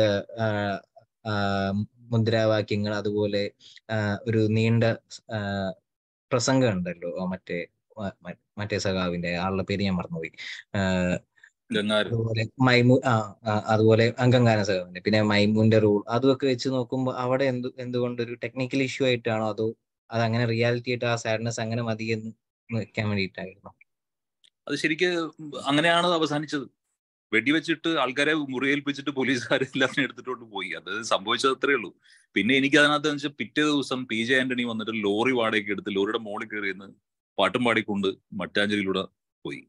ഞാൻ ആ പടപ്പാട്ട് പ്രതീക്ഷിച്ചിരുന്നു. ആ പാട്ട് ഞാൻ അതിന് പി ജെ ആന്റണിയെ കാസ്റ്റ് വരെ ചെയ്തതാ. പക്ഷെ എനിക്ക് തോന്നി അത് ഈ ഹംസയുടെ മരണവും ഈ വെടിവെപ്പും കഴിഞ്ഞാൽ പിന്നെ ഉമ്മ ഉമ്മയുടെ നിലവിളിയും കഴിഞ്ഞിട്ട് പിന്നെ അതിനകത്തൊരു ഇതിലേക്ക് പോയി കഴിപ്പോട്ടെ എനിക്ക് പിന്നെ ആ പാട്ട് മാത്രം മതിയായിരുന്നു. ആ, പി ജെ ആന്റണിയുടെ വരികൾ മാത്രം മതി. പിന്നെ നേരത്തെ പറഞ്ഞ ഈ- കമേഴ്ഷ്യൽ ആക്കുക എന്ന് പറയുന്ന സംഭവമില്ല? ഇത് ഇത് നമ്മളൊരു കാര്യം മനസ്സിലാക്കണം. നമ്മൾ ഒരു ഇൻഡസ്ട്രിയാണ് സിനിമ എന്ന് പറഞ്ഞ ഇൻഡസ്ട്രിയൽ റെവല്യൂഷൻ എന്ന് വന്നൊരു ആർട്ട് ആർട്ട് ഫോം എന്ന് പറയാൻ പറ്റില്ല. ഒരു ഒരു നമുക്കൊരു ടൂൾ കിട്ടിയിരിക്കുകയാണ് ഒരു മാധ്യമം കിട്ടിയിരിക്കുകയിൽ ഇത് ഇതെന്നും ഒരു ഇൻഡസ്ട്രിയിലാണ് നിൽക്കുന്നത് അപ്പൊ അതിനകത്ത് ഈ ഇൻഡസ്ട്രിയുടെ പ്രഷർ എന്ന് പറയുന്നത് നമ്മുടെ ഈ നമ്മൾ നമ്മൾ നമ്മൾ അറിയാണ്ട് പോകുന്ന ക്യാപിറ്റലിസത്തിന്റെ ഒക്കെ ഒരു പ്രഷർ ഇല്ലേ? അതായത് നമ്മൾ അറിയില്ല ഇതിനെ? നമ്മളെ ഇത് എങ്ങനെയൊക്കെയോ വട വളച്ചൊടിച്ച് കയ്യിലെടുത്ത് ഇങ്ങനെ പോക്കറ്റിലിടുവര് അതായത് നമ്മൾ അറിയാണ്ട് നമ്മുടെ തല കാൽക്കുലേറ്റർ ആയി തീരും. നമ്മൾ കണക്കുകൂട്ടലുകൾ മാത്രമാവും. അപ്പൊ ഇത് എല്ലാവരെയും ബാധിക്കും. അപ്പൊ ഞാനൊരു പോയിന്റ് ഞാനൊരു പോയിന്റ് എന്റെ ശ്രദ്ധിക്കുന്നത് വെച്ചാൽ ഞാൻ ഇതിൽ നിന്ന് എങ്ങനെ വിട്ടുമാറി നിൽക്കാം എന്നുള്ളത് മാത്രമാണ്. അപ്പൊ എന്റെ ഒരു എവല്യൂഷൻ കൂടി ഉണ്ട് ഇതിനകത്ത്. ഈ നമ്മളൊരു മാസ്റ്റർ ആയിട്ടല്ലല്ലോ സിനിമ എടുത്തു തരാം ഞാൻ പഠിച്ചപ്പോ ഒരു സിനിമ തുടങ്ങിയിട്ടല്ലേ ഉള്ളൂ. അഞ്ച് സിനിമ ആയിട്ടേ ഉള്ളൂ. പഠിച്ചുകൊണ്ടിരിക്കുന്നുള്ളൂ അപ്പൊ നമുക്ക് ഇത് ഇങ്ങനത്തെ കുറെ സംഭവങ്ങൾ ഹേർഡിൽസ് തരണം ചെയ്യേണ്ടി വരും. അതായത് എങ്ങനെ ഇതിനെയൊക്കെ അതായത് കമേഴ്ഷ്യൽ വയബിൾ ആക്കുക എന്ന് പറയുന്നത് ഓക്കെ പക്ഷെ പൂർണമായിട്ടും നമ്മൾ വിത്തൗട്ട് സെല്ലിങ് യുവർ സോൾ. എങ്ങനെ നമുക്കിത് എങ്ങനെ ചെയ്യാൻ പറ്റുന്നുള്ളതാണ്. അപ്പൊ അങ്ങനെ ഞാൻ അന്ന് പറഞ്ഞിട്ടുണ്ടെങ്കിൽ ചിലപ്പോ അത് ആ സമയത്ത് ചിലപ്പോ എന്റെ മനസ്സിൽ അതായിരിക്കും ഒരു ഒരു ഒരു ബോക്സ് ഓഫീസ് ഒരു ഹിറ്റ് ചെയ്യുക എന്നുള്ളതായിരുന്നിരിക്കണം അത് മാറി സിനിമ ചെയ്യുമ്പോൾ ഈ കഥകൾ എന്താ പറയണ്ടേ ഇംബൈബ് ചെയ്തിട്ട് അതിനെക്കുറിച്ച് പഠിച്ച് ചെയ്യുമ്പോൾ ചിലപ്പോൾ എനിക്ക് എന്റെ ഒരു കാഴ്ചപ്പാടും മാറിയിട്ടുണ്ടാവാം. എനിവേ തുറമുഖത്തിൽ പിന്നെ നിങ്ങൾ പറഞ്ഞ പോലെ ലാസ്റ്റ് അത് എഫക്ട് ചെയ്തിട്ടില്ലെങ്കിൽ അതെന്റെ പരാജയമാണ്. അങ്ങനെ നിങ്ങൾക്ക് തോന്നിയിട്ടുണ്ടെങ്കിൽ അത് അത് എന്റെ ആസ് എ ക്രാഫ്റ്റ്സ്മാൻ അല്ലെങ്കിൽ ആസ് എ ഡയറക്ടർ അത് അത് തീർച്ചയായിട്ടും എന്റെ പരാജയം തന്നെയാണ് അത് ഒരാൾക്ക് തോന്നിയിട്ടില്ലെങ്കിൽ തന്നെ. അതായത് സിനിമ ഈസ് സിനിമ പലരും കാണുമ്പോൾ പലർക്കും പല രീതിയിലാണ് കാണുന്നത്. അല്ലാണ്ട് എല്ലാവരും ഇപ്പൊ ഞാൻ പറഞ്ഞു തരുന്ന പോലെ കാണണം നിർബന്ധമൊന്നുമില്ല. ഞാൻ ഉദ്ദേശിച്ചത് ഞാൻ പറയണത് ഇങ്ങനെയാണ് ഞാൻ ഉദ്ദേശിച്ചത് ഇങ്ങനെയാണ് സിനിമ നിങ്ങൾ കാണുക അതങ്ങനെയല്ല ഇത് കാണുമ്പോൾ കാഴ്ചയുടെ സാധനമാണല്ലോ. എല്ലാവർക്കും അവരുടേതായിട്ടുള്ള you will get something from it അത് ചിലപ്പോൾ പോസിറ്റീവ് ആയിരിക്കാം ചിലപ്പോൾ നെഗറ്റീവ് ആയിരിക്കാം. ചിലർക്ക് ചിലത് വർക്ക് ചെയ്യും ചിലർക്ക് വർക്ക് ചെയ്യില്ല. അപ്പൊ ഇത് എന്താ പറയണ്ട അത് അതൊരു ഡ്രോബാക്ക് തന്നെ ആയിരിക്കും. അതായിരിക്കും ചിലപ്പോൾ ബോക്സ് ഓഫീസിൽ അത് കേൾക്കാഞ്ഞത്.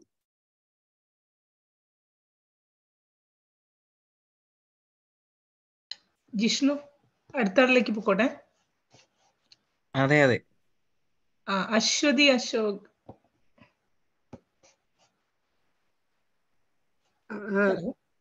രാജേട്ട ഇപ്പൊ ഇപ്പൊ പറഞ്ഞ ഈ ഒരു കൊമേഴ്സ്യൽ ഇതുമായി ബന്ധപ്പെട്ട് തന്നെയാണ് എനിക്ക് ചോദ്യമുള്ളത്. ഞാൻ ഈ കൊമേഴ്സ്യൽ ഇതിനെ കാണുന്നത് ഇപ്പം ഒരു എക്കണോമിക് വയബിലിറ്റി എന്ന നിലയിലല്ല. അപ്പൊ ഇപ്പൊ ഞാൻ ഈ സിനിമ കാണാൻ പോകുന്നത് നാട്ടിൽ നാട്ടിൽ ആ സമയത്ത് ഞാൻ നാട്ടിലുണ്ടായിരുന്നു. നമ്മുടെ കുറച്ച് സഹാക്കളുമായിട്ടാണ്. അപ്പൊ ഞങ്ങൾക്ക് ഇത് ഭയങ്കരമായിട്ട് ഞങ്ങളെ ഭയങ്കരമായിട്ട് ആവേശപ്പെടുത്തി. എസ് എഫ് ഐ കാലത്തുണ്ടായിരുന്നു നമ്മുടെ കുറച്ച് സഹാക്കളുമായിട്ടാണ് ഞാൻ കാണാൻ പോകുന്നത്. ഓരോ മുദ്രാവാക്യങ്ങളും ഞങ്ങൾക്ക് ഭയങ്കര ആവേശപ്പെടുത്തി. പക്ഷെ ഞങ്ങൾക്ക് അപ്പൊ തോന്നിയൊരു വിഷമം എന്ന് വെച്ചാൽ ഈ സിനിമ ഒരുപാട് പേര് കാണേണ്ടതായിരുന്നു. ഈ സിനിമ ഞങ്ങളല്ലായിരുന്നു കാണേണ്ടത് മറ്റ് നമ്മൾ ഞങ്ങൾ മാത്രമല്ല കാണേണ്ടത് മറ്റൊരു ഒരുപാട് പേര് ഇത് കാണണമായിരുന്നു. കാരണം ഈ പറയുന്ന പോലെ ഇപ്പൊ ജിഷ്ണു നേരത്തെ പറഞ്ഞ പോലെ ഒരു പ്രത്യേകിച്ച് ഒരു സംഘടിതമായിട്ടുള്ള ഇടതുപക്ഷ മൂവ്മെന്റ് ഒരു പല സിനിമകളിലും നമ്മൾ തൊഴിലാളി നേതാവിനെ കണ്ടിട്ടുണ്ട്. വളരെ ഐഡിയൽ ആയിട്ടുള്ള ചില ആളുകൾ സംഘടന അതേസമയം സംഘടിതമായിട്ടുള്ള മൂവ്മെന്റ് എല്ലാം മോശമാണ്. കുറച്ച് അതിൽ കുറച്ച് ഐഡിയൽ ആയിട്ടുള്ള കുറച്ച് നേതാക്കളുണ്ട്. അവർ നല്ലതാണ്. അങ്ങനെയൊക്കെയുള്ള ഒരു നെഗറ്റീവാണ് പൊതുവെ മലയാള സിനിമകൾ ഇടതുപക്ഷ മൂവ്മെന്റുകളെ പറ്റിയൊക്കെ മുമ്പോട്ട് വെക്കുന്നത്. പക്ഷേ ഈ സിനിമ ഈ പറഞ്ഞ പോലെ കൃത്യമായിട്ട് നമ്മുടെ ഒരു ഓർഗനൈസ്ഡ് ട്രേഡ് യൂണിയൻ മൂവ്മെന്റുകൾക്ക് എങ്ങനെ അവർ നേരിട്ട ഇഷ്യൂസും അവർ നേരിട്ട റിപ്രഷൻസും ഒക്കെ കാണിച്ച ഒരു സിനിമയായിരുന്നു. അത് ആഹ് അവിടെയുള്ള നമ്മൾ പറഞ്ഞ പോലെ പോപ്പുലർ പോപ്പുലിസം എന്നൊക്കെ പറയുന്ന പോപ്പുലർ കൾച്ചറിൽ ആയിരുന്നെങ്കിൽ കുറച്ചുകൂടെ ഒരു അതിലൊരു കൊമേഴ്സ് ഉണ്ടായിരുന്നെങ്കിൽ കുറെ ആളുകൾ കയറി കണ്ട്. പ്രത്യേകിച്ച് ഞാനത് പറയാൻ കാരണം വെച്ചാൽ ഈ തുറമുഖം വരുന്ന സമയത്ത് തുറമുഖം അനൗൺസ് ചെയ്യുന്ന സമയത്ത് ഒരു വലിയ ഒരു ഭയങ്കരമായിട്ടൊരു തുറമുഖം ഒരു സെലിബ്രേറ്റ് സെലിബ്രേറ്റ് ചെയ്യപ്പെട്ടിരുന്നു. അത് കുറച്ച് കാലം കഴിഞ്ഞിട്ടാണ് അത് ഇറങ്ങിയതെങ്കിലും ആ സമയത്ത് സോഷ്യൽ മീഡിയ വഴിയൊക്കെ ഒരു തുറമുഖം കാണാൻ വേണ്ടി ആളുകൾ കാത്തിരിക്കുന്ന ഇടതുപക്ഷക്കാരല്ലാത്ത ഒരു ഒരു യൂത്ത് ഒരു ഗ്രൂപ്പ് പ്രത്യേകിച്ച് ഒരു യൂത്ത് തുറമുഖം എന്ന് പറയുന്നിരിക്കുന്ന ഒരു അവസ്ഥ ഉണ്ടായിരുന്നു അപ്പൊ ആ അത്ര ആ ആളുകളെങ്കിലും നമുക്ക് കയറ്റാൻ പറ്റിയിരുന്നെങ്കിൽ അത് അതൊരു വലിയ സക്സസ് ആയിരുന്നു. കാരണം അത്രയും ആളുകളിലേക്ക് നമ്മൾ ആ ചരിത്രവും ആ ഒരു മൂവ്മെന്റും കൊടുക്കരുത്. അപ്പൊ അവിടെയാണ് അതിന് അങ്ങനെയാണ് ഞാൻ ഈ കൊമേഴ്സ് എലിമെന്റിനെ അപ്പൊ ഈ പറഞ്ഞ നമ്മളെപ്പോഴും ഉള്ളൊരു ഡിബേറ്റ് ആണിത് സിനിമ ഈ പറഞ്ഞ സിനിമ അങ്ങനെ വേണോ? അല്ലെങ്കിൽ നമ്മൾ പറഞ്ഞ നല്ല സിനിമകളെല്ലാം ഈ അവാർഡ് ഒരു എപ്പോഴും പറയുന്ന അവാർഡ് സിനിമകൾ എന്ന് പറയുന്ന ഒരു കാറ്റഗറി ഉണ്ടാക്കി വെച്ചുകൊണ്ട് അപ്പൊ അങ്ങനെ നമ്മൾ അങ്ങനെ ഒരു ഓടത്തെ കമ്പാർട്ട്മെന്റ് ആയിട്ട് നമ്മൾ നിർത്താണോ നമുക്ക് വേണ്ടത്? അതോ നമ്മൾ കുറച്ച് ആളുകളെ ആളുകളെ എത്തിച്ചുകൊണ്ട് നമുക്ക് നമുക്ക് പറയാനുള്ളത് കഴിവെന്ന് പറയാനുണ്ടായിരുന്ന ഈ കാര്യങ്ങൾ കുറച്ചുകൂടെ ആയിട്ട് പറയേണ്ടതായിരുന്നു എന്നുള്ളതാണ് എനിക്ക് ഒരു സംശയമുള്ളത്. രണ്ടാമത് എനിക്കൊരു ഈ പറഞ്ഞ ഒരു ചെറിയൊരു ഒരു വിമർശനം പോലെ ആദ്യ ആദ്യത്തെ ആദ്യത്തെ പറയട്ടെ എന്നിട്ട് അടുത്ത അല്ലെങ്കിൽ ഞാൻ മറന്നു. അപ്പൊ. ഞാൻ കഴിഞ്ഞ് ഞാൻ നമ്മൾ ഈ സിനിമ പഠിക്കുന്ന സമയത്ത് ഋത്വിക് ഘട്ടക് എന്ന് പറഞ്ഞിട്ട് ഒരു ഫിലിം മേക്കർ ഉണ്ട് ബംഗാളി. ഋത്വിക് ഘട്ടക്കിന്റെ ഒരു ഇതിൽ പറഞ്ഞതെന്ന് വെച്ച് കഴിഞ്ഞാൽ ടെലിവിഷൻ അന്ന് ടെലിവിഷൻ വന്നിട്ടില്ല. പുള്ളി പറഞ്ഞ ടെലിവിഷൻ വന്നു കഴിഞ്ഞാൽ ഞാൻ സിനിമ വിടും. ഞാൻ ടെലിവിഷനിൽ എനിക്ക് പറയാനുള്ളത് എന്നുവെച്ചാൽ അവന്റെ അവരുടെ വീടുകളിലേക്ക് എനിക്ക് പത്ത് പൈസ അവർ കൊടുക്കാണ്ട് എനിക്ക് അവരുടെ വീടുകളിലേക്ക് എനിക്ക് കമ്മ്യൂണിക്കേറ്റ് ചെയ്യാൻ പറ്റും എന്നാണ് പുള്ളി ഉദ്ദേശിച്ചത്. എനിക്കും അത് തന്നെയാണ് ആഗ്രഹം. അതായത് ജനങ്ങൾ എല്ലാവരെയും കാണിക്കണമെന്ന് എന്റെ ആഗ്രഹം. പക്ഷെ അതുകൊണ്ട് തന്നെ കമ്മട്ടിപ്പാടത്തിൽ ഞാൻ അത് കമ്മട്ടിപ്പാടത്തിൽ ഞാൻ പറഞ്ഞത് ആ ലാൻഡിന്റെയും എൻക്രോച്ച്മെന്റിന്റെയും ആ സമുദായങ്ങളുടെയും കഥ പറയാൻ ശ്രമിച്ചതാണ്. അത് കാണിക്കാൻ വേണ്ടിയാണ് ഞാൻ ചെയ്തത്. ഇതും എനിക്ക് ആൾക്കാർ കാണണമെന്ന് ആഗ്രഹമുണ്ട്. പക്ഷെ എന്താ സംഭവം എന്ന് വെച്ച് കഴിഞ്ഞാൽ നമ്മൾ ഈ പറഞ്ഞ പോലെ അതിനകത്തേക്ക് ഇതിനെ പോപ്പുലർ ആ ഒരു കൾച്ചർ ആ സംഭവത്തിലേക്ക് നമ്മൾ ചെയ്തു കഴിയുമ്പോൾ ഇറ്റ് ഗെറ്റ്സ് എന്താ പറയാ അത് അത് മലിനമായി തീരുവാണ് ഒരു പോയിന്റ് ആ ഒരു നറേറ്റീവ് നറേറ്റീവ് പിന്നെ ഇറ്റ് ബിക്കംസ് എന്താ പറയണ്ട ആവർത്തിക്കപ്പെടുന്ന നറേറ്റീവിൽ ഒന്നായി പോകുന്നു അത്രേ ഉള്ളൂ. പിന്നെ സിനിമയുടെ ഒരു സംഭവം ഞാൻ മനസ്സിലാക്കിയ സിനിമ ഇപ്പൊ ഞാൻ ഇഷ്ടപ്പെടുന്ന സിനിമകൾ എന്ന് പറഞ്ഞാൽ ചിലപ്പോ ജാൻ ബീഗോ എന്നൊക്കെ പറയുന്ന നാൽപ്പതുകളിലെ സിനിമ ചെയ്ത ഒരാളുടെ സിനിമയൊക്കെയാണ് എനിക്ക് ഇപ്പോഴും ഇഷ്ടം കാണാൻ. അതായത് ആ സിനിമ അധികം കാണുന്ന ആൾക്കാർ പോലും ഇല്ല. പക്ഷെ ചിലപ്പോ വർഷങ്ങൾക്ക് ശേഷം പുള്ളി ആണെങ്കിൽ നാൽപ്പതാമത് ഇരുപത്തിനാലാം ദിവസം മരിച്ചും പോയി. അത് കഴിഞ്ഞ് പുള്ളിയുടെ സിനിമകൾ കണ്ട് ഇഷ്ടപ്പെടുന്നത് കൊല്ലങ്ങൾക്ക് ശേഷം അതായത് വർഷങ്ങൾക്ക് ശേഷമാണ് ആൾക്കാർ ഇത് കണ്ട് ഇഷ്ടപ്പെടുന്നത്. അതുകൊണ്ട് സിനിമയുടെ ശക്തി അത് ഈ റിലീസ് ചെയ്ത് ബോക്സ് ഓഫീസിലോ തിയേറ്ററിലോ മാത്രമല്ല എന്ന് വിശ്വസിക്കുന്ന ആളാണ് ഞാൻ. അതുകൊണ്ട് തുറമുഖം അങ്ങനെ നിൽക്കുന്ന അങ്ങനെ ഒന്നല്ല ഉദ്ദേശിക്കുന്നത്. പക്ഷെ സിനിമയുടെ സ്ട്രെങ്ത് അത്രത്തോളം ഉണ്ടെന്ന് വിശ്വസിക്കുന്ന ആളാണ് ഞാൻ. അതുകൊണ്ട് തന്നെ ചെയ്യുമ്പോൾ നമ്മൾ സത്യസന്ധമായിട്ട് ചെയ്യുക. പിന്നെ ഈ കമേഴ്ഷ്യൽ ആയിട്ടുള്ള എന്താ പറയുക മസാലയും ഫോർമുലയും ഒക്കെ ചെയ്ത് പടങ്ങൾ ചെയ്യാൻ എനിക്കത് എനിക്കത് ബോറടിച്ചു തുടങ്ങി ഒരു പോയിന്റ് കഴിഞ്ഞു. മനസ്സിലായില്ലേ? അതായത് ഞാനത് ഡെയിലി ഷൂട്ട് ചെയ്യുമ്പോൾ ഞാൻ തന്നെ വളരെ എന്താ പറയണ്ടേ മെറ്റിക്കുലസ് ആയിട്ട് അതിന്റെ സംഭവങ്ങൾ ചേർത്ത് ഷൂട്ട് ചെയ്യുന്ന ഒരാളാണ്. അതായത് ഞാൻ എക്സിക്യൂട്ട് ചെയ്യുന്ന ഒരാളാണ് ക്യാമറയിലൂടെ അപ്പൊ എനിക്ക് അറിയാം അത് ചെയ്യാൻ. അപ്പൊ ചെയ്ത് ചെയ്തത് എനിക്ക് ഐ ഡോണ്ട് എനിക്ക് അതിനകത്ത് വലിയ എക്സൈറ്റ്മെന്റ് ഒന്നും ഇല്ല എനിക്ക്. അതുകൊണ്ട് നമ്മൾ സംവിധാനം ചെയ്യുമ്പോൾ ഞാൻ ചെയ്യാത്തതും പരിചയമല്ലാത്തതും അത് മാത്രമല്ല ഏറ്റവും ജെനുവൻ ആയിട്ട് ചെയ്യാൻ ശ്രമിക്കുകയാണ്. ഇതൊരു ഇതൊരു മീഡിയമാണല്ലോ. നമ്മളതിനെ എങ്ങനെ എഴുത്തിലൂടെ നമ്മൾ എഴുതി എഴുതി എങ്ങനെ നമ്മുടെ ഹാൻഡ് റൈറ്റിംഗ് നന്നാക്കുന്നത് പോലെ തന്നെയാണ്. പ്രാക്ടീസ് ചെയ്ത് പ്രാക്ടീസ് ചെയ്താണ് നമ്മൾ ഫിലിം മേക്കിംഗ് ബെറ്റർ ആക്കുന്നത്. ഈ ഫിലിം മേക്കിംഗ് എന്ന് പറയുമ്പോൾ നെറേറ്റീവ് ആണ്. ഈ നെറേറ്റീവ് എങ്ങനെ നമ്മൾ എന്താ പറയണ്ടേ ആസ് ട്രൂ എന്ന് പറയുന്ന ട്രൂ ടു യുവർ സെൽഫ് അല്ലെങ്കിൽ ട്രൂ ടു എച്ച് ഓരോ ഇമേജിനും അതിന്റെ അതിന്റെ എന്താ പറയണ്ട ഒരു ഒരു സത്യം ഉണ്ടാവും. അത് എത്രയും പ്യൂറാക്കാൻ പറ്റുമോ? അത്രയും പ്യൂറാക്കുക എന്നുള്ളതാണ്. അത് ചിലപ്പോ പതുക്കെ പതുക്കെ വരുള്ളൂ. എന്നാലും അതൊരു ട്രയൽ ആൻഡ് എററാണ് ഇതൊക്കെ നമ്മളത് എല്ലാം വിജയിക്കണമെന്നും ആൾക്കാർ കാണണമെന്നും നമുക്ക് ആഗ്രഹമുണ്ട്. ആഗ്രഹമില്ലാഞ്ഞിട്ടൊന്നുമില്ല. അടുത്ത് ചോദിക്കും. ഒരു ചോദ്യമായിട്ടല്ല. ഇപ്പൊ എനിക്ക് എനിക്ക് തോന്നിയൊരു സിനിമ കണ്ടപ്പോ ഒരു എനിക്ക് തോന്നിയൊരു ചെറിയൊരു വിമർശനം പോലെ വേണമെങ്കിൽ കരുതാം. മൂന്ന് മണിക്കൂർ ഉണ്ടായിരുന്ന സിനിമയാണ്. നമുക്ക് അത്യാവശ്യം ടൈം ഉണ്ട്. പക്ഷെ അതിൽ നമുക്ക് ഒരു ആ മൂവ്മെന്റ് ബിൽഡ് ചെയ്യുന്ന അതായത് ഒരു അതൊരു ഓർഗനൈസ് മൂവ്മെന്റ് ആയിട്ട് ബിൽഡ് ചെയ്യുന്ന ആ ഒരു ബിൽഡിംഗ് സ്റ്റേജ് കുറച്ചുകൂടെ നന്നായിട്ട് ഡെവലപ്പ് ചെയ്ത് എങ്ങനെയാണ്? അല്ലെങ്കിൽ ഇങ്ങനെ ഒരു സിറ്റുവേഷനിൽ ഇത്രയും അടിച്ചമർത്തപ്പെടുന്ന ആളുകളുടെ ഇടയ്ക്ക് ഒന്ന് വെച്ചാൽ അത്രയും ഒരു അടിമ സ്വഭ അടിമത്ത മനസ്ഥിതിയിൽ ജീവിക്കുന്ന ഒരാളുകൾക്കിടയിൽ അവരെങ്ങനെയാണ് ആ ഒരു മൂവ്മെന്റ് ബിൽഡ് ചെയ്തെടുത്തത്? ആ ഒരു ബിൽഡിംഗ് പ്രോസസ് കുറച്ചുകൂടെ നന്നായിട്ട് കാണിക്കാമായിരുന്നു എനിക്ക് തോന്നുന്നു. അങ്ങനെ എപ്പോഴെങ്കിലും തോന്നി ഫീൽ ചെയ്തിട്ടുണ്ടായിരുന്നു? ഇത് ഇത് തന്നെ മൂന്നര മണിക്കൂർ ഉണ്ടായിരുന്നു ഞാൻ പിന്നെ മൂന്നിന്റെ മൂന്ന് ടു ഫോർട്ടി ഫൈവ് അല്ലാട്ടോ ടു ഫിഫ്റ്റി ത്രീ ആണ്. ഞാനത് മൂന്നിന്റെ ഉള്ളിലേക്ക് ഇങ്ങനെ ചവിട്ടി നിർത്തിയതാ. അതായത് എന്റെ സിനിമകൾ എപ്പോഴും ഇങ്ങനെ ലെങ്ത് കൂടുതലാണ്. പിന്നെ അതിനകത്ത് മസാല ഫോമുലാസ് ഒന്നും ഇല്ലാത്ത കാരണം പലപ്പോഴും തിയേറ്ററുകാർ പോലും ഈ പ്രൊജക്ഷനിസ്റ്റ് പോലും ബുദ്ധിമുട്ട് പറയാറുണ്ട്. അതുകൊണ്ട് ഞാൻ എങ്ങനെയെങ്കിലും ഒക്കെ സാധനം അറിയാം നമ്മൾ ഞാൻ ഈ നോവലുകൾ വായിക്കാൻ ഇഷ്ടപ്പെടുന്ന ആളാണ് സിനിമ കാണുന്നതിലും കൂടുതൽ നോവൽ വായിക്കുന്ന ആളാണ് അപ്പൊ എനിക്ക് ഈ ലോങ് സംഭവങ്ങൾ വലിയ വലിയ ഇഷ്ടമാണ്. അതിന്റെയൊക്കെ ഒരു പ്രശ്നമായിരിക്കാം. ഇതിനെ എങ്ങനെ ചുരുക്കി ഒരു സംഭവം ഒരു രണ്ട് മണിക്കൂറിനുള്ളിലാക്കാനൊന്നും ഞാൻ പഠിച്ചിട്ടില്ല. പഠിച്ചുകൊണ്ടിരിക്കുന്നേ ഉള്ളൂ. നമ്മൾ ഇമോഷണൽ ആയി പോകും നമ്മൾ നമുക്ക് നമ്മൾ അതിന്റെ ഇതിന്റെ ലെങ്തോ ഇതിന്റെ കമേഴ്ഷ്യൽ പ്രോ ആ സംഭവം ഒന്നും ആലോചിക്കുന്നില്ല ചെയ്യുമ്പോൾ അതായത് സംവിധാനം ചെയ്യുമ്പോൾ ഇതൊന്നും ആലോചിക്കാണ്ട് ഇൻസ്റ്റന്റ് നമ്മുടെ എന്താ പറയുക നമ്മുടെ ഇന്റ്യൂഷൻ ഇല്ലേ? ഇന്റ്യൂഷൻ ആൻഡ് ഇൻസ്റ്റിങ് വെച്ചിട്ടാണ് നമ്മൾ വർക്ക് ചെയ്യുന്നത് ആ സമയത്ത് സ്പോട്ടിൽ ഓർഗാനിക് ആയിട്ടുള്ള സ്പോണ്ടേനിയസ് ആയിട്ടുള്ള മേക്കിംഗ് ആണ്. അപ്പൊ അത് എത്രത്തോളം പ്രാക്ടീസ് ചെയ്ത് നന്നാക്കി എടുക്കാൻ ശ്രമിച്ചുകൊണ്ടിരിക്കുകയാണ്?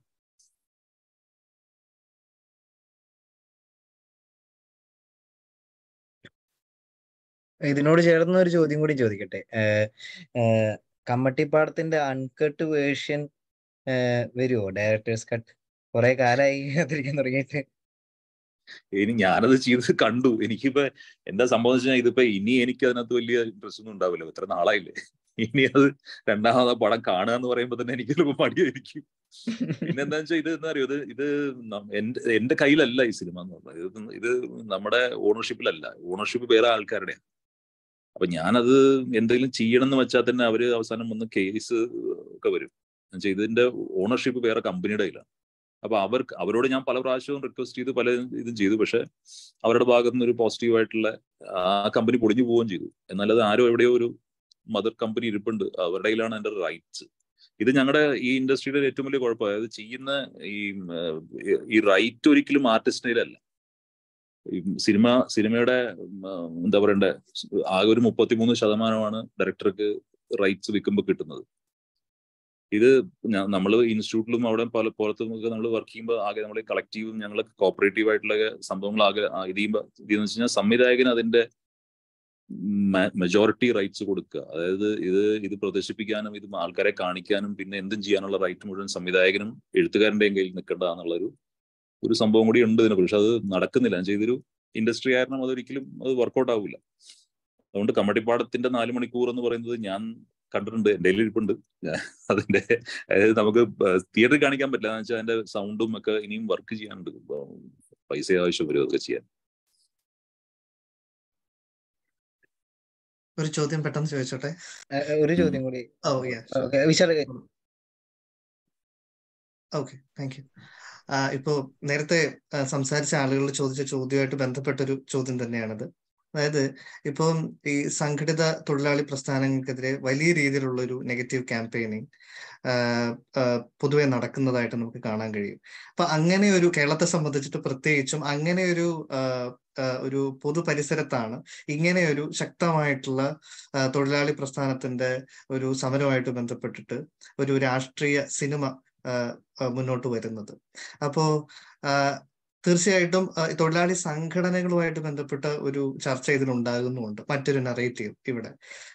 എന്റെ ചോദ്യം ഇതാണ് ആസ് എ ഡയറക്ടർ എന്തായിരുന്നു ഈ തൊഴിലാളി പ്രസ്ഥാനങ്ങളുടെ ഭാഗത്തു നിന്നുണ്ടായിരുന്ന പ്രതികരണം? എങ്ങനെയായിരുന്നു ആ അനുഭവം? അതിനെ കുറിച്ചാണ് എന്റെ ചോദ്യം. അങ്ങനെ സംഘടനകളിൽ നിന്നും എനിക്ക് നേരിട്ട് അങ്ങനെ ഞാൻ ഞാനൊരായിട്ടും സംസാരിച്ചിട്ടില്ല. പക്ഷെ എനിക്ക് പരിചയമുള്ള എന്റെ എന്റെ ഒരു ഇതിലുള്ള കേരളത്തിലെയും കേരളത്തിലെ എനിക്ക് സഹാക്കളായിട്ട് ബന്ധമുണ്ട്. അതായത് കേഡറുകളായിട്ട് എനിക്ക് നല്ല ബന്ധമുള്ള ഒരാളാണ് ഞാൻ. എന്റെ നാട്ടിൽ മാത്രമല്ല പലയിടത്തും.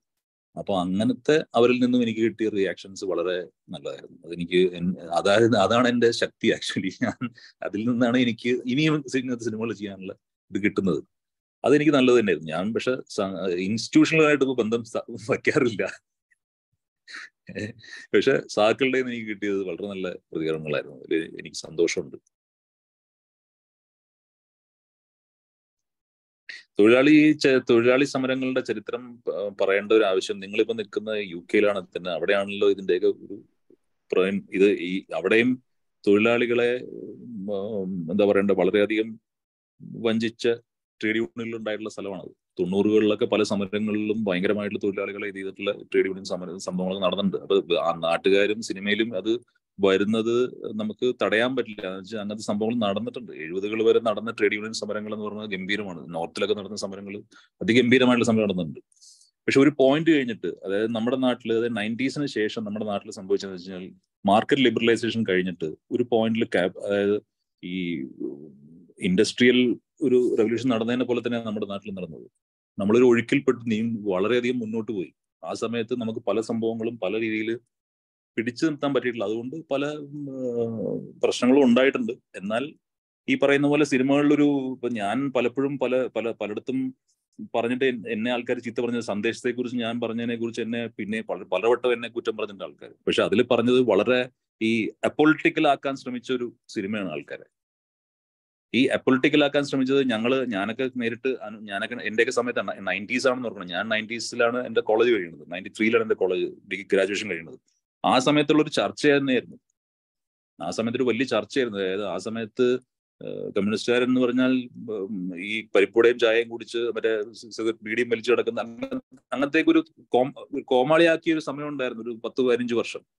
അതിപ്പോഴും നടക്കുന്നുണ്ട്. എന്നാലും എന്റെയൊക്കെ അനുഭവത്തിൽ അങ്ങനെയൊന്നും ആയിരുന്നില്ല. ഞങ്ങളൊക്കെ വളരെയധികം നല്ല രീതിയിൽ പ്രവർത്തിച്ചതും വളരെ ശേഷമായിട്ട് മുദ്രവാക്കി വിളിച്ചു നടന്ന ആൾക്കാരൊക്കെ തന്നെയാണ് ഞങ്ങൾ അതിന്റെയൊക്കെ ഒരു എന്താ പറയാ ഒരു തഴമ്പ് ഉണ്ട്. അതുകൊണ്ടായിരിക്കാം. ജിഷ്ണു ചോദിക്കുന്നുണ്ടോ?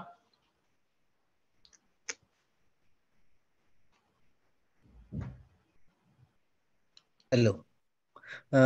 ഇതിനു മുമ്പ് ഒരു അഭിമുഖത്തിൽ അഭിമുഖമല്ല ഒറ്റപ്പാലത്ത് നടന്ന പരിപാടിയിൽ രാജീവേട്ടൻ മറ്റേ കൊച്ചിൻ കോർപ്പറേഷന്റെ ഡെവലപ്മെന്റ് കോർപ്പറേഷനുമായിട്ട് ബന്ധപ്പെട്ടുള്ള അനീതികളെ കുറിച്ച് സൂചിപ്പിക്കേണ്ടതാണ്. അത് കമ്മട്ടിപ്പാടത്തിന് ശേഷം വന്നുള്ള ഒരു ചർച്ചയിലായിരുന്നു. അപ്പോ ഇപ്പൊ ഈ ഋതിക് കട്ടക്കിന്റെ ടെലിവിഷൻ വന്നാൽ അതിലേക്ക് പോകും എന്നുള്ളൊരു ഇതും വന്നു. അപ്പോ ടെലി സീരീസുകൾ അല്ലെങ്കിൽ ഒരു സീരീസ് അതിനെ കുറിച്ച് ചെയ്യാൻ വല്ല പ്ലാനുകളും ഉണ്ടോ അങ്ങനെയല്ലെങ്കിൽ സീരീസ് ചെയ്യാൻ ഭയങ്കര ആഗ്രഹമുണ്ട്. സീരീസിന്റെ ഗുണം എന്ന് വെച്ച് കഴിഞ്ഞാൽ നായകൻ നായികയൊന്നും വേണ്ട. എല്ലാവരും നായകന്മാരാണ്. അതുകൊണ്ട് തന്നെ പല പല ട്രാക്കിലൂടെ യാത്ര ചെയ്യാന്ന് അപ്പൊ ഞാനിപ്പോ ഒരു സീരീസ് ചെയ്യാനായിരുന്നു ഞാൻ യു കെയിൽ വന്നത്. അപ്പൊ അവിടെ ഞാൻ അനുഭവിച്ചിട്ട് ഞാൻ ആദ്യത്തെ സീരീസ് ആയിരുന്നത് അപ്പൊ അതിൽ നമുക്കിപ്പോ ഓരോ ക്യാരക്ടറിന്റെ കൂടെയും യാത്ര ചെയ്യാനുള്ള ഒരു സ്പേസ് കിട്ടുന്നുണ്ട്. ഒരു ഒരു ഈ നായകൻ ഹീറോവിനെ വെച്ചുള്ള സ്റ്റാർ സിസ്റ്റത്തിന്റെ കുഴപ്പമെന്ന് വെച്ചാൽ നമ്മൾ ഒരാളുടെ പുറകെയാണ് ഒരാളുടെ ചുറ്റുമാണ് കഥയോ സിനിമയോ നമ്മൾ എങ്ങനെയെങ്കിലും ഒക്കെ ഒട്ടിച്ച് തീർക്കാൻ ശ്രമിക്കുന്നത്. എപ്പോഴും ഇപ്പൊ നമ്മളിപ്പോ ഒരു നായകന്റെ സിനിമ എടുത്താൽ നമുക്ക് കയ്യിലെണ്ണാം അയാൾ ഇല്ലാത്ത ഫ്രെയിമുകൾ. ആ സിനിമയിൽ നിങ്ങൾ നോക്കിക്കോ ഈ ആ ആ സ്റ്റാർ ഇല്ലാത്ത ഫ്രെയിമുകൾ ജസ്റ്റ് കൗണ്ടബിൾ അത് അത് സീരീസിൽ അങ്ങനല്ല. സീരീസിൽ ഓരോ ചാപ്റ്റേഴ്സ് ആയിട്ട് നമുക്ക് കഥ പറഞ്ഞു പോകാം. ഒരു നോവലുകൾ നോവൽ എഴുതുന്ന ഒരു സുഖം സിനിമ അത് ചെയ്യുമ്പോൾ കിട്ടും. ലെങ്ത് വൈസ് അതുകൊണ്ട് സീരീസ് ചെയ്യാൻ എനിക്ക് ആഗ്രഹമുണ്ട്. അങ്ങനെ ഒന്നും തീരുമാനിച്ചിട്ടൊന്നുമില്ല പക്ഷെ. ഈ സിനിമയിലെ സിനിമാറ്റോഗ്രഫിയും ഡയറക്ഷനും കൂടിയിട്ട് ഇത്രയും ആൾക്കാരെ വെച്ചിട്ട് ഭയങ്കരമായിട്ട് ബുദ്ധിമുട്ടിയിട്ടുണ്ടാവില്ല? എങ്ങനെയാണ് അത് മാനേജ് ചെയ്തത്? അത് നമ്മൾ ചെയ്യുന്നൊരു മധു ആ സമയത്ത് എന്തോ തിരക്കിലായിരുന്നു. അതുകൊണ്ടാണ് ഞാൻ ചെയ്യാൻ തീരുമാനിച്ചത്. മധു ഉണ്ടെങ്കിൽ മധു വെച്ച് തന്നെ ചെയ്യുള്ളായിരുന്നു. പിന്നെ ഇത് എന്താ സംബന്ധിച്ച സിനിമ ഇത് ഞാൻ കുറെ നാളായിട്ട് പ്രാക്ടീസ് ചെയ്യുന്ന സംഭവമായിരുന്നു. എനിക്ക് എനിക്ക് ക്യാമറയോ ഡയറക്ഷനോ എന്ന് പറയുന്ന അങ്ങനെ വേർതിരിവുകൾ പ്രാക്ടിക്കലി ചില ബുദ്ധിമുട്ടുകളൊക്കെ വരും. പക്ഷെ പപ്പു എന്റെ റൈറ്റ് ഹാൻഡ് ആയിട്ട് എന്റെ കൂടെ പപ്പുവും എന്റെ എന്റെ ഞാൻ സ്ഥിരമായിട്ട് വർഷങ്ങളായിട്ട് വർക്ക് ചെയ്യുന്ന ഇഷ്ടംപോലെ ആൾക്കാരുള്ള കാരണം ഐ കുഡ് മാനേജ് വിത്ത് അതായത് അവരുള്ള കാരണം രക്ഷപ്പെട്ടു പോയി. അതായത് എനിക്ക് അവരോട് പലപ്പോഴും പറയേണ്ടി കൂടെ വരാറില്ല. ഒന്നും. പപ്പുവിന്റെ അടുത്ത് എനിക്ക് പലപ്പോഴും ഒന്നും പറയേണ്ടി വരാറില്ല. അവൻ അവൻ ടേക്ക് കെയർ ചെയ്യും. അതുകൊണ്ട് അങ്ങനത്തെ ആൾക്കാരുള്ളതുകൊണ്ട് ഞാൻ രക്ഷപ്പെട്ടു പോയി. പ്രിയ ചോദിക്കുന്നു. അതിന് ചോദ്യം കൂടി. മറ്റേ ക്യാമറ ഇതിന്റെ മോണോക്രോമും കളറും ആയിട്ട് രണ്ടായിട്ട് എടുത്തത് രണ്ട് കാലഘട്ടമാണെന്ന് അടയാളപ്പെടുത്താൻ വേണ്ടി മാത്രമായിരുന്നു. എന്തുകൊണ്ട് കംപ്ലീറ്റ്ലി മോണോക്രോം ആയിട്ട് പോയില്ല എന്നൊരു സംശയം. ഈ ഒന്ന് ഒന്ന് നിങ്ങൾ ആ കാലഘട്ടത്തെ കുറിച്ച് ആലോചിക്കണം. അതായത് ആയിരത്തി തൊള്ളായിരത്തി മുപ്പതുകളിൽ പച്ചപ്പ് മാത്രമേ ഉള്ളൂ ചുറ്റും. പച്ചപ്പും ഓലക്കുടിലും. ആയിരത്തി തൊള്ളായിരത്തി നാൽപ്പതിലും അതേ ഉള്ളൂ. അമ്പതുകളിലും അതേ ഉള്ളൂ. ഇത് വലിയ മാറ്റമൊന്നും കൊച്ചിയിൽ വരുന്നില്ല. കൊച്ചിയിൽ മാറ്റം വന്നേക്കണ ഇപ്പോഴാ. എറണാകുളത്താണ് ഇപ്പൊ കേരളത്തിൽ ഇപ്പോഴാണ് മാറ്റം വന്നേക്കണത്. കുറെ അധികം കെട്ടിടങ്ങളും മെട്രോ ഒക്കെ വരുന്നത്. പണ്ട് ഓലയിൽ നിന്നും ചിലപ്പോ തകരയിലേക്ക് തകരപ്പെട്ടി മറ്റേ പത്തര എന്ന് പറയുന്ന മറ്റേ ഇതില്ലേ ആ മെറ്റൽ ഷീറ്റ് അതിലേക്ക് എങ്ങാനും ഒരു ചെറിയ മാറ്റം. അതുപോലും മേടിക്കാൻ പൈസ ഉണ്ടല്ല അവരുടെ കയ്യിൽ അപ്പൊ അത് ഒന്നുമില്ല. മാറ്റങ്ങളില്ല. അപ്പൊ എനിക്ക് ഇതിനകത്ത് പീരിയഡ് ഡിഫറൻസ് ഞാൻ എഴുതി പോലും കാണിക്കുന്നില്ല പീരിയഡ് ഡിഫറൻസ് ആക്ച്വലി നമ്മൾ വന്നിങ്ങനെ വന്ന് പോയി പോയിക്കൊണ്ടിരിക്കുകയല്ലേ? അപ്പൊ അതുകൊണ്ട് ആ സമയത്ത് അങ്ങനെ ഒരു വ്യത്യാസം കാണിക്കാൻ വേണ്ടി ഒരു തേർട്ടീസ് കാണിച്ചപ്പോ ഞാൻ ബ്ലാക്ക് ആൻഡ് വൈറ്റ് ആക്കി. അതായത് കളർ കളർ ഇല്ലാത്തൊരു സമയം. പിന്നെ പതുക്കെ കളർ കയറി വരുന്നു. അതൊരു നെറേറ്റീവ് ടെക്നിക്ക് യൂസ് ചെയ്ത് നോക്കിയതാണ്. എത്രത്തോളം വർക്ക് ചെയ്തെന്നുള്ളത് നിങ്ങൾ പറയാ. അതിൽ മോണോക്രോം ആയിട്ടുള്ള ഭാഗങ്ങൾ വളരെ ഇമ്പാക്റ്റ് ഉണ്ട്. എസ്പെഷ്യലി ചാപ്പയ്ക്ക് വേണ്ടിയുള്ള ആളുകൾ തമ്മിലുള്ള തൊഴിലാളികൾ തമ്മിലുള്ള സംഘർഷങ്ങൾ. അതുപോലെ അതിലുള്ള ആ, ജോജു ആയിട്ടുള്ള മൈമുവിന്റെ ക്യാരക്ടറായിട്ടുള്ള സംഘർഷങ്ങൾ. അതിലെ ജോജുവിന്റെ ആക്ഷനൊക്കെ മലയാളത്തിലെ സൂപ്പർ സ്റ്റാറുകളോട് ചേർന്ന് നിൽക്കുന്ന ആക്ഷന് ആയിട്ടാണ് കാണുന്ന ഒരു ആളുകൾക്ക് ഉണ്ടാവുന്ന ഒരു ഇമ്പാക്റ്റ്. അങ്ങനെയാണ് ആ തിയേറ്ററിലുള്ള മൊത്തമുള്ള കാണികളിൽ ഇവിടെ ഞാൻ തിയേറ്ററിൽ നിന്ന് കണ്ടപ്പോൾ അങ്ങനെയാണ് എനിക്ക് തോന്നിയത്. അപ്പോ ആ രീതിയിൽ മോണോക്രോമ് വളരെ നന്നായിട്ട് വർക്ക് ചെയ്തിട്ടുണ്ട് എന്നാണ് എനിക്ക് തോന്നുന്നത്. മോണോക്രോമിൽ കംപ്ലീറ്റ്ലി പോയിരുന്നാലും പ്രത്യേകിച്ച് വ്യത്യാസം പ്രശ്നമൊന്നും ഉണ്ടാവില്ലായിരുന്നു എന്നാണ് എനിക്ക് തോന്നുന്നത്. അല്ല അതിനകത്ത് പിന്നെ ഉള്ള ഒരു ഇമേജിൽ കളർ വൈസ് വ്യത്യാസം ഉള്ളതെന്ന് വെച്ച് കഴിഞ്ഞാൽ നിങ്ങൾ ശ്രദ്ധിച്ചിട്ടുണ്ടാവില്ല ചിലപ്പോ അതിനകത്ത് ഒരു പോർഷൻ മുഴുവൻ ഓവർകാസ്റ്റ് ആണ്. നയന്റീൻ ഫോർട്ടീസ് എന്ന് പറയുന്നത് മുഴുവൻ ഓവർകാസ്റ്റ് ആണ്. സൺലൈറ്റ് ഇല്ലാത്ത സമയമാണ്. പിന്നെ നമ്മൾ ന- അമ്പതുകളിലേക്ക് വരുമ്പോഴാണ് സൺലൈറ്റ് വരുന്നത്. അപ്പൊ അതെന്റെ ഒരു സിനിമാട്ടോഗ്രാഫറായ എന്റെ ഒരു ചെറിയൊരു ഒരു ശ്രമമാണ് അതിന്റെ ഇടയിൽ. അത് അറിയ അത് അത് അതങ്ങനെ എന്താ പറയാ നമ്മൾ സിനിമാറ്റോഗ്രഫി എന്ന് പറഞ്ഞാൽ basically it's art of narration ആണ് കഥ പറച്ചിലാണ്. സിനിമാറ്റോഗ്രഫിയാണ് ഫോട്ടോഗ്രഫി അല്ല. ഫോട്ടോഗ്രഫിയാണ് മറ്റേ ഈ പിക്ചർ പോസ്റ്റ് കാർഡ് ആയിട്ട് ബ്യൂട്ടിഫുൾ ഓരോ ഫ്രെയിമും ബ്യൂട്ടിഫൈ ചെയ്യുന്നത് ഫോട്ടോഗ്രഫിയാണ്. ഫോട്ടോഗ്രഫി സിനിമയിൽ വരേണ്ട സാധനമല്ല. സിനിമയിൽ കഥയാണ് പറയുന്നത്. യുവർ നറേറ്റിംഗ് എ സ്റ്റോറി അപ്പൊ അത് ഒരിക്കലും കഥയുടെ മുകളിൽ കയറി നിൽക്കാൻ പാടില്ല. അത് അവിടെ നിൽക്കുന്ന ഇമോഷന്റെ മുകളിലേക്ക് അതാ ക്യാമറ വർക്ക് അവൻ കൊള്ളാലോ അവൻ ലൈറ്റിംഗ് രസമുണ്ടെന്ന് പറഞ്ഞാൽ തീർന്നു. ആ സിനിമ പിന്നെ ഇല്ലാണ്ടായി ആക്ച്വലി അപ്പൊ ആ ക്യാമറമാൻ ആരാന്ന് ചോദിച്ചാൽ തന്നെ ആ സിനിമ ഇല്ലാണ്ടായെന്ന് വിശ്വസിക്കുന്ന ആളാണ് ഞാൻ. അതായത് ക്യാമറമാൻ ഷുഡ് ബി ആബ്സെന്റ് എന്താ പറയണ്ട? അറിയരുത്. ആരാ ക്യാമറ ചെയ്തെന്ന് പോലും ചോദിക്കാൻ പാടില്ല. അങ്ങനെ പോണം സിനിമ.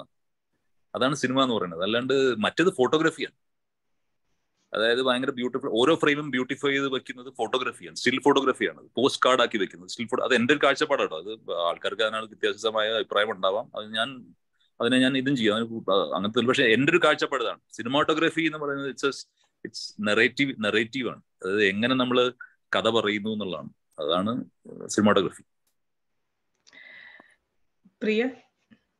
എനിക്ക് ക്വസ്റ്റ്യൻ അല്ല പക്ഷെ ഒരു റിമാർക്കാണ് ഇപ്പം നേരത്തെ ജിഷ്ണു പറഞ്ഞായിരുന്നു എൻഡിങ് കുറച്ചുകൂടെ ഡ്രാമറ്റൈസ് ചെയ്യായിരുന്നു പക്ഷെ ഞാനും കണ്ടപ്പോ ഒബിയസ്ലി കഥ അറിയായിരുന്നല്ലോ. ഞാൻ കണ്ടപ്പോ അപ്പൊ ഞാനും അങ്ങനത്തെ ഒരു എൻഡിങ് ആയിരുന്നു എക്സ്പെക്ട് ചെയ്തത്. ഷൂട്ട് ഷൂട്ട് ചെയ്യുമ്പോഴത്തേക്കും സ്ലോ മോഷനിൽ വീഴുന്നു. പിന്നെ അമ്മയൊക്കെ കൂടി നിന്നിട്ട് ഒരു ഇൻസ്ട്രുമെന്റൽ മ്യൂസിക്കും പക്ഷെ ക- കണ്ടപ്പോ എനിക്ക് ഭയങ്കര ഇമ്പാക്ട്ഫുൾ ആയിട്ട് തോന്നി ആക്ച്വലി ഞാൻ പിന്നെ വിചാരിച്ചു actually this is more impactful ഇപ്പോ എനിക്കപ്പം ആദ്യമേ ആദ്യം എനിക്ക് ഓർമ്മ വന്നത് അമ്മ അറിയാന്ന് പറഞ്ഞ സിനിമയിലെ എൻഡിങ് ആണ്. ഒരു മാറ്റർ ഓഫ് ഫാക്ട് ഒരു രീതിയിൽ അമ്മയുടെ റെസ്പോൺസ് ആ എന്റെ മകൻ. I know he died by suicide. ആ ഒരു അങ്ങനത്തെ ഒരു അതായിരുന്നു എനിക്ക് പെട്ടെന്ന് ഒരു വന്നത്.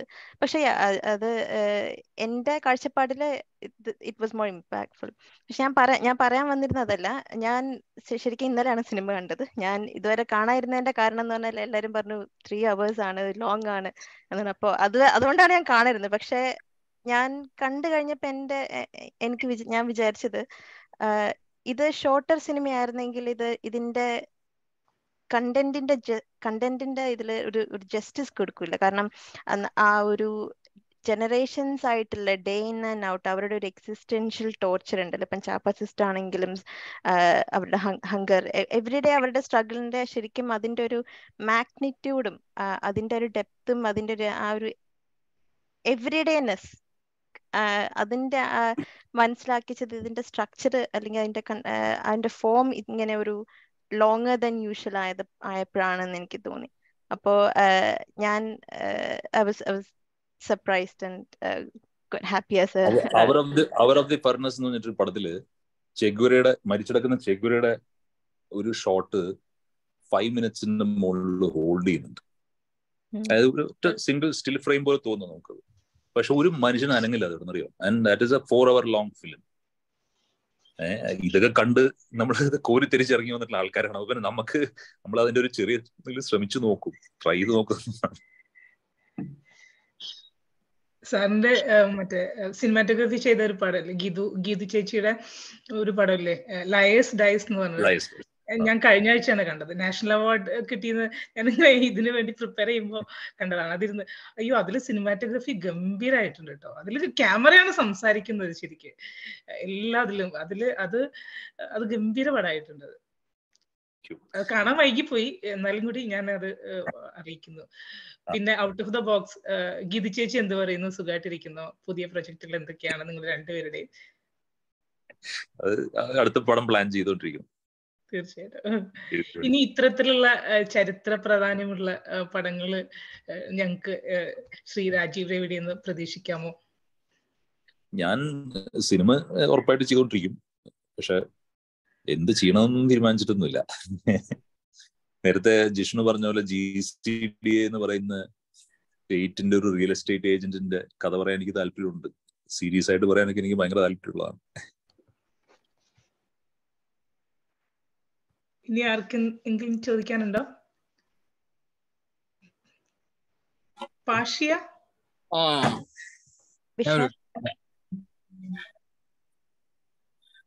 ഞാൻ ഒരു കാര്യം ചോദിച്ചോട്ടെ? ചോദിച്ചോളൂ. അതായത് ഈ ഓഡിയൻസിന് അറ്റൻഷൻ സ്പാൻ നമ്മൾ ക്രിയേറ്റ് ചെയ്യുമ്പോഴത്തേക്കും നമ്മൾ കുറച്ചുകൂടെ അവെയർ ആവണോ?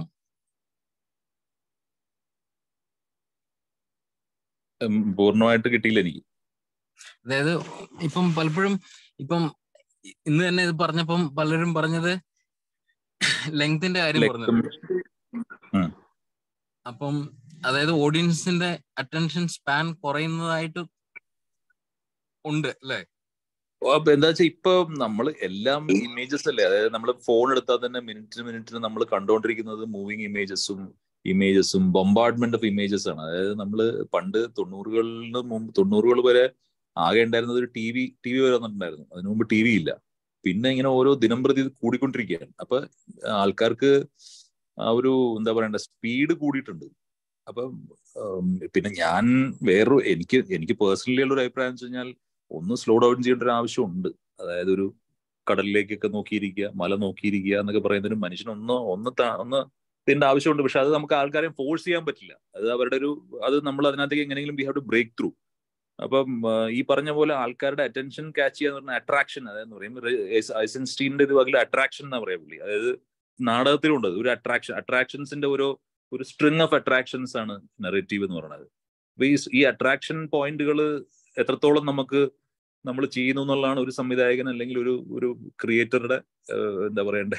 അയാളുടെ എക്സ്പീരിയൻസോ അയാളുടെ ടാലന്റോ വരുന്നത്? നമ്മളത് പലപ്പോഴും നമ്മൾ ഓരോന്ന് ശ്രമിക്കും. ചിലത് വർക്കൗട്ട് ആവും ചിലത് വർക്കൗട്ട് ആവില്ല അപ്പൊ എന്താ വെച്ചാൽ ഇങ്ങനത്തെ ഇന്ററാക്ഷൻസിൽ എനിക്ക് എനിക്ക് കിട്ടുന്ന ഒരു ഗുണം എന്ന് പറയും ഞാനിങ്ങനെ പല പല ക്യാമ്പസുകളിലും യൂണിവേഴ്സിറ്റികളിലും ഞാൻ പോയി ഇന്ററാക്ട് ചെയ്യുന്നതിൽ എനിക്ക് എനിക്ക് കിട്ടുന്നത് ഒരു സെൽഫിഷ് ഇന്റൻസ് ഇന്റൻഷനിലൂടെ പോകുന്നത്. വെച്ചാൽ നമുക്ക് കിട്ടുന്ന ഫീഡ്ബാക്ക് ഭയങ്കര ഇൻട്രസ്റ്റിംഗ് ആണ്. അതായത് നമ്മൾ എവിടെ എവിടെയാണ് ഒരു തെറ്റല്ല what is not coming across എന്താണ് അവിടെ വർക്ക് ചെയ്യാത്ത എന്നുള്ള ഒരു ഐഡിയ നമുക്ക് കിട്ടും. അപ്പൊ ആ ഒരു പ്രോസസ്സും ഭയങ്കര ഇൻട്രസ്റ്റിംഗ് ആണ്. അതുകൊണ്ട് തന്നെ പണ്ടത്തെ ഫിലിം ഫെസ്റ്റ് ഫിലിം ക്ലബുകൾ ഫിലിം ഫെസ്റ്റിവലുകളുടെയൊക്കെ ഒരു ഗുണമതായിരുന്നു നേരിട്ടുള്ള ഇന്ററാക്ഷൻസ് ഇപ്പൊ ഈ സൂമൊക്കെ ഉള്ള കാരണം ഇപ്പൊ ഇങ്ങനെയൊക്കെ സാധിക്കുന്നുണ്ട്. അല്ലെങ്കിൽ നമ്മൾ ഫിസിക്കലി പോകണം ഫിസിക്കലി ഫിസിക്കലി ഇതിലും ഗംഭീരമാണ്.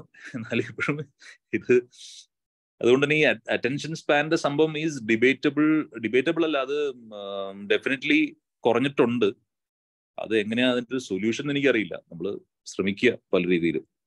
അത് ആ എനിക്ക് തോന്നുന്നു കണ്ടന്റ് അല്ലെങ്കിൽ ആ പോയിന്റ് ആ ഇമോഷനിലാണ് ഇരിക്കുന്നത്. അതായത് ആ the emotion is working then the attention will hold emotion work ചെയ്തിട്ടില്ലെങ്കിൽ അറ്റൻഷൻ ഹോൾഡ് ചെയ്യില്ല എന്നാണ് ഞാൻ വിശ്വസിക്കുന്നത്.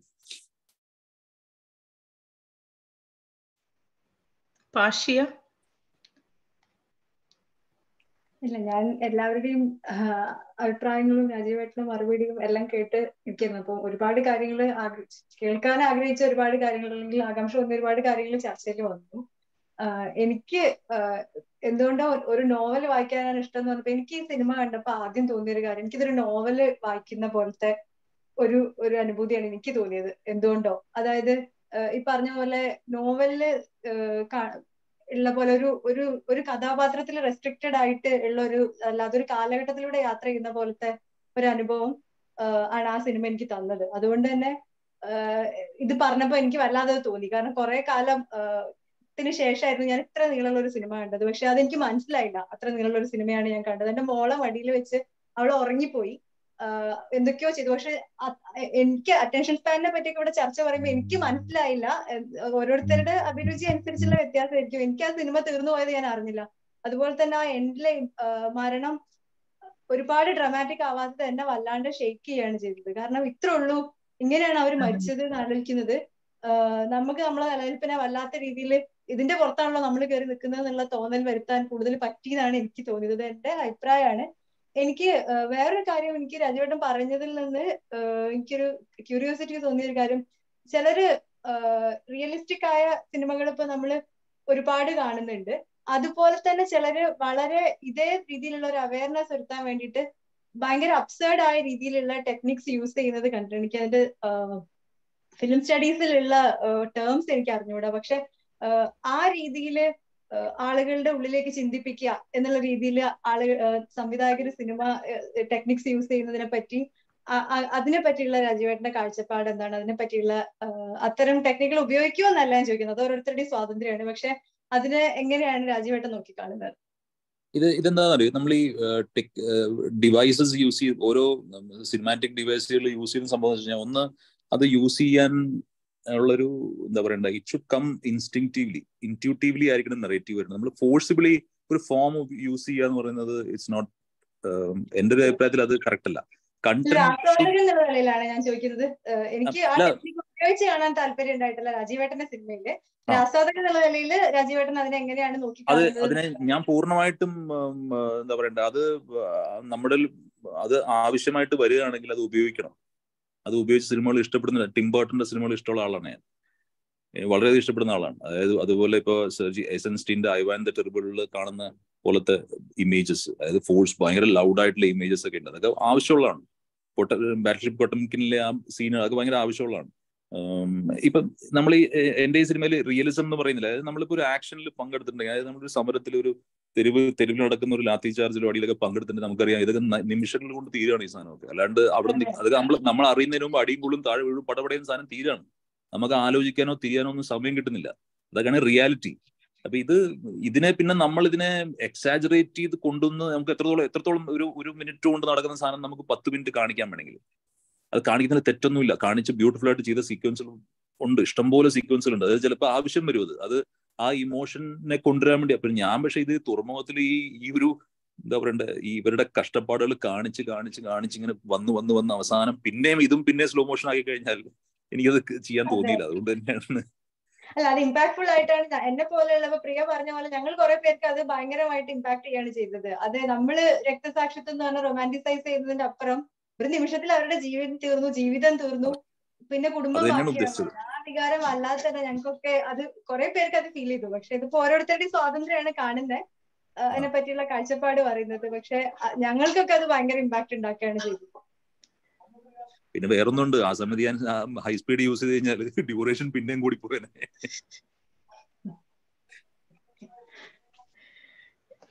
നമ്മൾ സമയം ഒരുപാടായി. ഇപ്പൊ തന്നെ നാട്ടിൽ കുറെ സമയമായിട്ടുണ്ട് ഇനി ആർക്കെങ്കിലും പെട്ടെന്ന് ചോദിക്കാനുണ്ടെങ്കിൽ ചോദിച്ചിട്ട് ഒരു ഒരു ചോദ്യം കൂടി എടുത്ത് നമുക്ക് അവസാനിപ്പിക്കാൻ തോന്നുന്നു. അങ്ങനെയാണെങ്കിൽ ഈ ഹലോ കേൾക്കുന്നില്ല അങ്ങനെയാണെങ്കിൽ ഈ സ്ക്രിപ്റ്റ് കൺ സ്ക്രിപ്റ്റ് എഴുതി കഴിഞ്ഞിട്ട് പിന്നെ അത് വിഷ്വലൈസ് ചെയ്യുന്നതിന്റെ ആ ഒരു പ്രോസസ്സും കൂടെ ഒന്ന് സ്ക്രിപ്റ്റ് എന്ന് പറയുന്നത് ഒരു സ്റ്റെപ്പിംഗ് സ്റ്റോൺ ആണ്. അതായത് ഒരു നമ്മളെ ഇൻസ്പയർ ചെയ്യേണ്ട ഒരു ടെക്സ്റ്റ് ആണ് ബേസിക്കലി അതായത് സ്ക്രിപ്റ്റ് തന്നെ വേണമെന്നില്ല. ഒരു വരി കിട്ടിയാൽ മതി സിനിമയാക്കാൻ വേണമെങ്കിൽ ഏഹ് അതാണ് എന്റെ അഭിപ്രായം. അത് എന്നെ പക്ഷെ അത് സ്ക്രിപ്റ്റ് ആണെങ്കിൽ അതെന്നെ ഇൻസ്പയർ ചെയ്യണം. പക്ഷെ ഞാൻ അത് തന്നെ ചെയ്യണം നിർബന്ധമില്ല അത് എനിക്ക് എനിക്ക് സിനിമ ചെയ്യാനുള്ള ഒരു പ്രചോദനമായിരിക്കണം സ്ക്രിപ്റ്റ് എന്റെ എന്റെ കാഴ്ചപ്പാട് കേട്ടോ അല്ലാണ്ട് ഒരു സ്ക്രിപ്റ്റ് കിട്ടിയിട്ട് ഞാൻ അതേപോലെ അതേപോലെ ചെയ്തു വെക്കാന്ന് പറഞ്ഞ രീതിയിലല്ല മൂവി സ്റ്റോറി ബോർഡ് ചെയ്ത സിനിമകൾ ചെയ്തിട്ടുണ്ട് ഞാൻ. ഞാൻ അതേപോലെ സിനിമകളിൽ വർക്ക് ചെയ്തിട്ടുണ്ട്. ആവശ്യം വരുമ്പോൾ സ്റ്റോറി ബോർഡ് ഓരോ ഫ്രെയിമും വരച്ച് വൃത്തിയാക്കി പ്ലാൻ ചെയ്ത് പലവട്ടം സ്റ്റോറി ബോർഡ് ചെയ്തൊക്കെ ഞാൻ ചെയ്തിട്ടുണ്ട്. പക്ഷെ അതൊക്കെ ചെയ്ത് അന്നേ ദിവസം ഒന്നും സ്റ്റോറി ബോർഡ് അതൊക്കെ ഓർഗാനിക് ആയിട്ടുള്ള വളരെ ഓർഗാനിക് അത് അങ്ങനെ അങ്ങനെ തീരുമാനിച്ച് ചെയ്തതാ. അതായത് ഞാൻ വർഷങ്ങളായിട്ട് ഷൂട്ട് ചെയ്തുകൊണ്ടിരിക്കുന്നത് വളരെ പ്ലാൻഡ് ആയിട്ടുള്ള സിനിമകൾ പല സംവിധായകരുടെ ഒപ്പം കൃത്യമായിട്ട് പ്ലാൻ ചെയ്തൊക്കെ ചെയ്ത് ചെയ്തതിന്റെ എനിക്ക് ഞാൻ എന്റെ സിനിമ തോന്നി മട്ടാഞ്ചേരി അല്ലെങ്കിൽ കൊച്ചി എന്ന് പറയുന്ന സ്ഥലം ആ ആ ഏരിയ ആ സ്പേസ് ആ മനുഷ്യരുടെ ഒപ്പം ക്യാപ്ചർ ചെയ്യുക എന്നുള്ളൊരു ഒരു ദൗത്യമായിരുന്നു അന്നേൻ റസൂലും. അതായത് ആ സ്ഥലവും ആ സ്ഥലത്തിന്റെ എനർജിയും എങ്ങനെ ക്യാപ്ചർ ചെയ്യാൻ പറ്റും സിനിമയിലേക്ക് എന്നുള്ളൊരു അതൊരു ശ്രമമായിരുന്നു. വളരെ ഓർഗാനിക് ആണ് അത്. കൊച്ചി കൊച്ചി ഞാൻ ഇതിനു മുമ്പ് ഷൂട്ട് ചെയ്തിട്ടുണ്ട്. കൊച്ചി ഇതിനു മുമ്പും പരസ്യങ്ങൾക്കും സിനിമയിലൊക്കെ ഞാൻ ഷൂട്ട് ചെയ്തിട്ടുണ്ട്. പക്ഷെ എങ്ങനെ കൊച്ചിനെയും മട്ടാഞ്ചേരിനെയും നമുക്കറിയാവുന്ന കൊച്ചിയും മട്ടാഞ്ചേരിയും ആക്കിയെടുക്കാൻ പറ്റും? ആ മനുഷ്യരെ എങ്ങനെ കാണിക്കാൻ പറ്റും? എന്നുള്ളൊരു അതായത് തർക്കോസ്കിയുടെ സ്കൾപ്റ്റിംഗ് ഇൻ ടൈം എന്ന് പറയില്ലേ? അതായത് എങ്ങനെ ആ സമയവും സന്ദർഭ ആ സമയവും ആ സ്പേസും എങ്ങനെ നമുക്ക് സിനിമയിലേക്ക് കൊണ്ടുവരാന്നുള്ള ശ്രമമായിരുന്നു. അതുകൊണ്ട് രണ്ട് ക്യാമറയൊക്കെ വെച്ച് ഫഹദിനെയൊക്കെ വെറുതെ ഇറക്കി നടത്തി സ്ഥലത്തിൽ അതിന്റെ ജനങ്ങളെ ഒന്നും നമുക്ക് സിനിമക്കാർ പെട്ടെന്ന് ഞങ്ങളൊക്കെ വന്ന് സിനിമ ചെയ്യുമ്പോൾ എന്ന് വെച്ച് കഴിഞ്ഞാൽ റോട്ടിൽ വന്നു കഴിഞ്ഞാൽ ആൾക്കാർ ആ റോട്ടിലുള്ള ആൾക്കാരെ മാറ്റും ആദ്യം. എന്നിട്ട് നമ്മുടെ സാധനങ്ങളും നമ്മുടെ ആൾക്കാരെയും കുത്തി നിറച്ച് നമ്മൾ സെറ്റ് ചെയ്തിട്ട് ഒരു സെറ്റ് ഫ്രെയിമിനുള്ളിൽ നമ്മൾ ക്യാപ്ചർ ചെയ്യാണ് അതൊരു സെറ്റപ്പ് ആണത്. അപ്പൊ ഈ സെറ്റപ്പ് ബ്രേക്ക് ചെയ്യുക എന്നുള്ളതായിരുന്നു എന്റെ കോൺസെപ്റ്റ് ഈ സെറ്റപ്പ് ബ്രേക്ക് ചെയ്തിട്ട് എങ്ങനെ ചെയ്യാൻ പറ്റും എന്നുള്ളതായിരുന്നു. അപ്പൊ ഇത് ഞാൻ ഞാൻ മാത്രം ഞാൻ അനുരാഗിന്റെ ഒപ്പം വർക്ക് ചെയ്യുമ്പോൾ നമ്മൾ പല നഗരങ്ങളിലും പോയി ഇങ്ങനെ ചെയ്ത് ചെയ്തിട്ടുള്ള പ്രാക്ടീസിൽ ഞാൻ ഇവിടെ ഒന്ന് ട്രൈ ചെയ്ത് നോക്കിയതാ. രാകേഷ് ഇങ്ങനെ ദൂരെ നിന്ന് ഷൂട്ട് ചെയ്യും അല്ലേ? അത് ഞങ്ങൾ ആവശ്യമുള്ള സ്ഥലത്തൊക്കെ അങ്ങനെ ചെയ്തിട്ടുണ്ട്. അപ്പൊ അതിന് അത് ചെയ്ത് ചെയ്ത് എനിക്കൊരു കോൺഫിഡൻസ് ആയി ഇങ്ങനെ ചെയ്യാൻ പറ്റും. ഞാനാണല്ലോ ഷൂട്ട് ചെയ്യണേ. അപ്പൊ എനിക്ക് എനിക്കത് എക്സിക്യൂട്ട് ചെയ്യാനുള്ള ഒരു കോൺഫിഡൻസ് വന്നു എനിക്ക്. അങ്ങനെ ഞാൻ അങ്ങനത്തെ ഒരു കോൺഫിഡൻസിൽ ഇറങ്ങിയതാ ഞാൻ അവിടെ. മറ്റേ ഹാർട്ട് ബ്രേക്ക് ചെയ്യുന്ന പോലത്തെ ഫിലിമാണ് താങ്ക്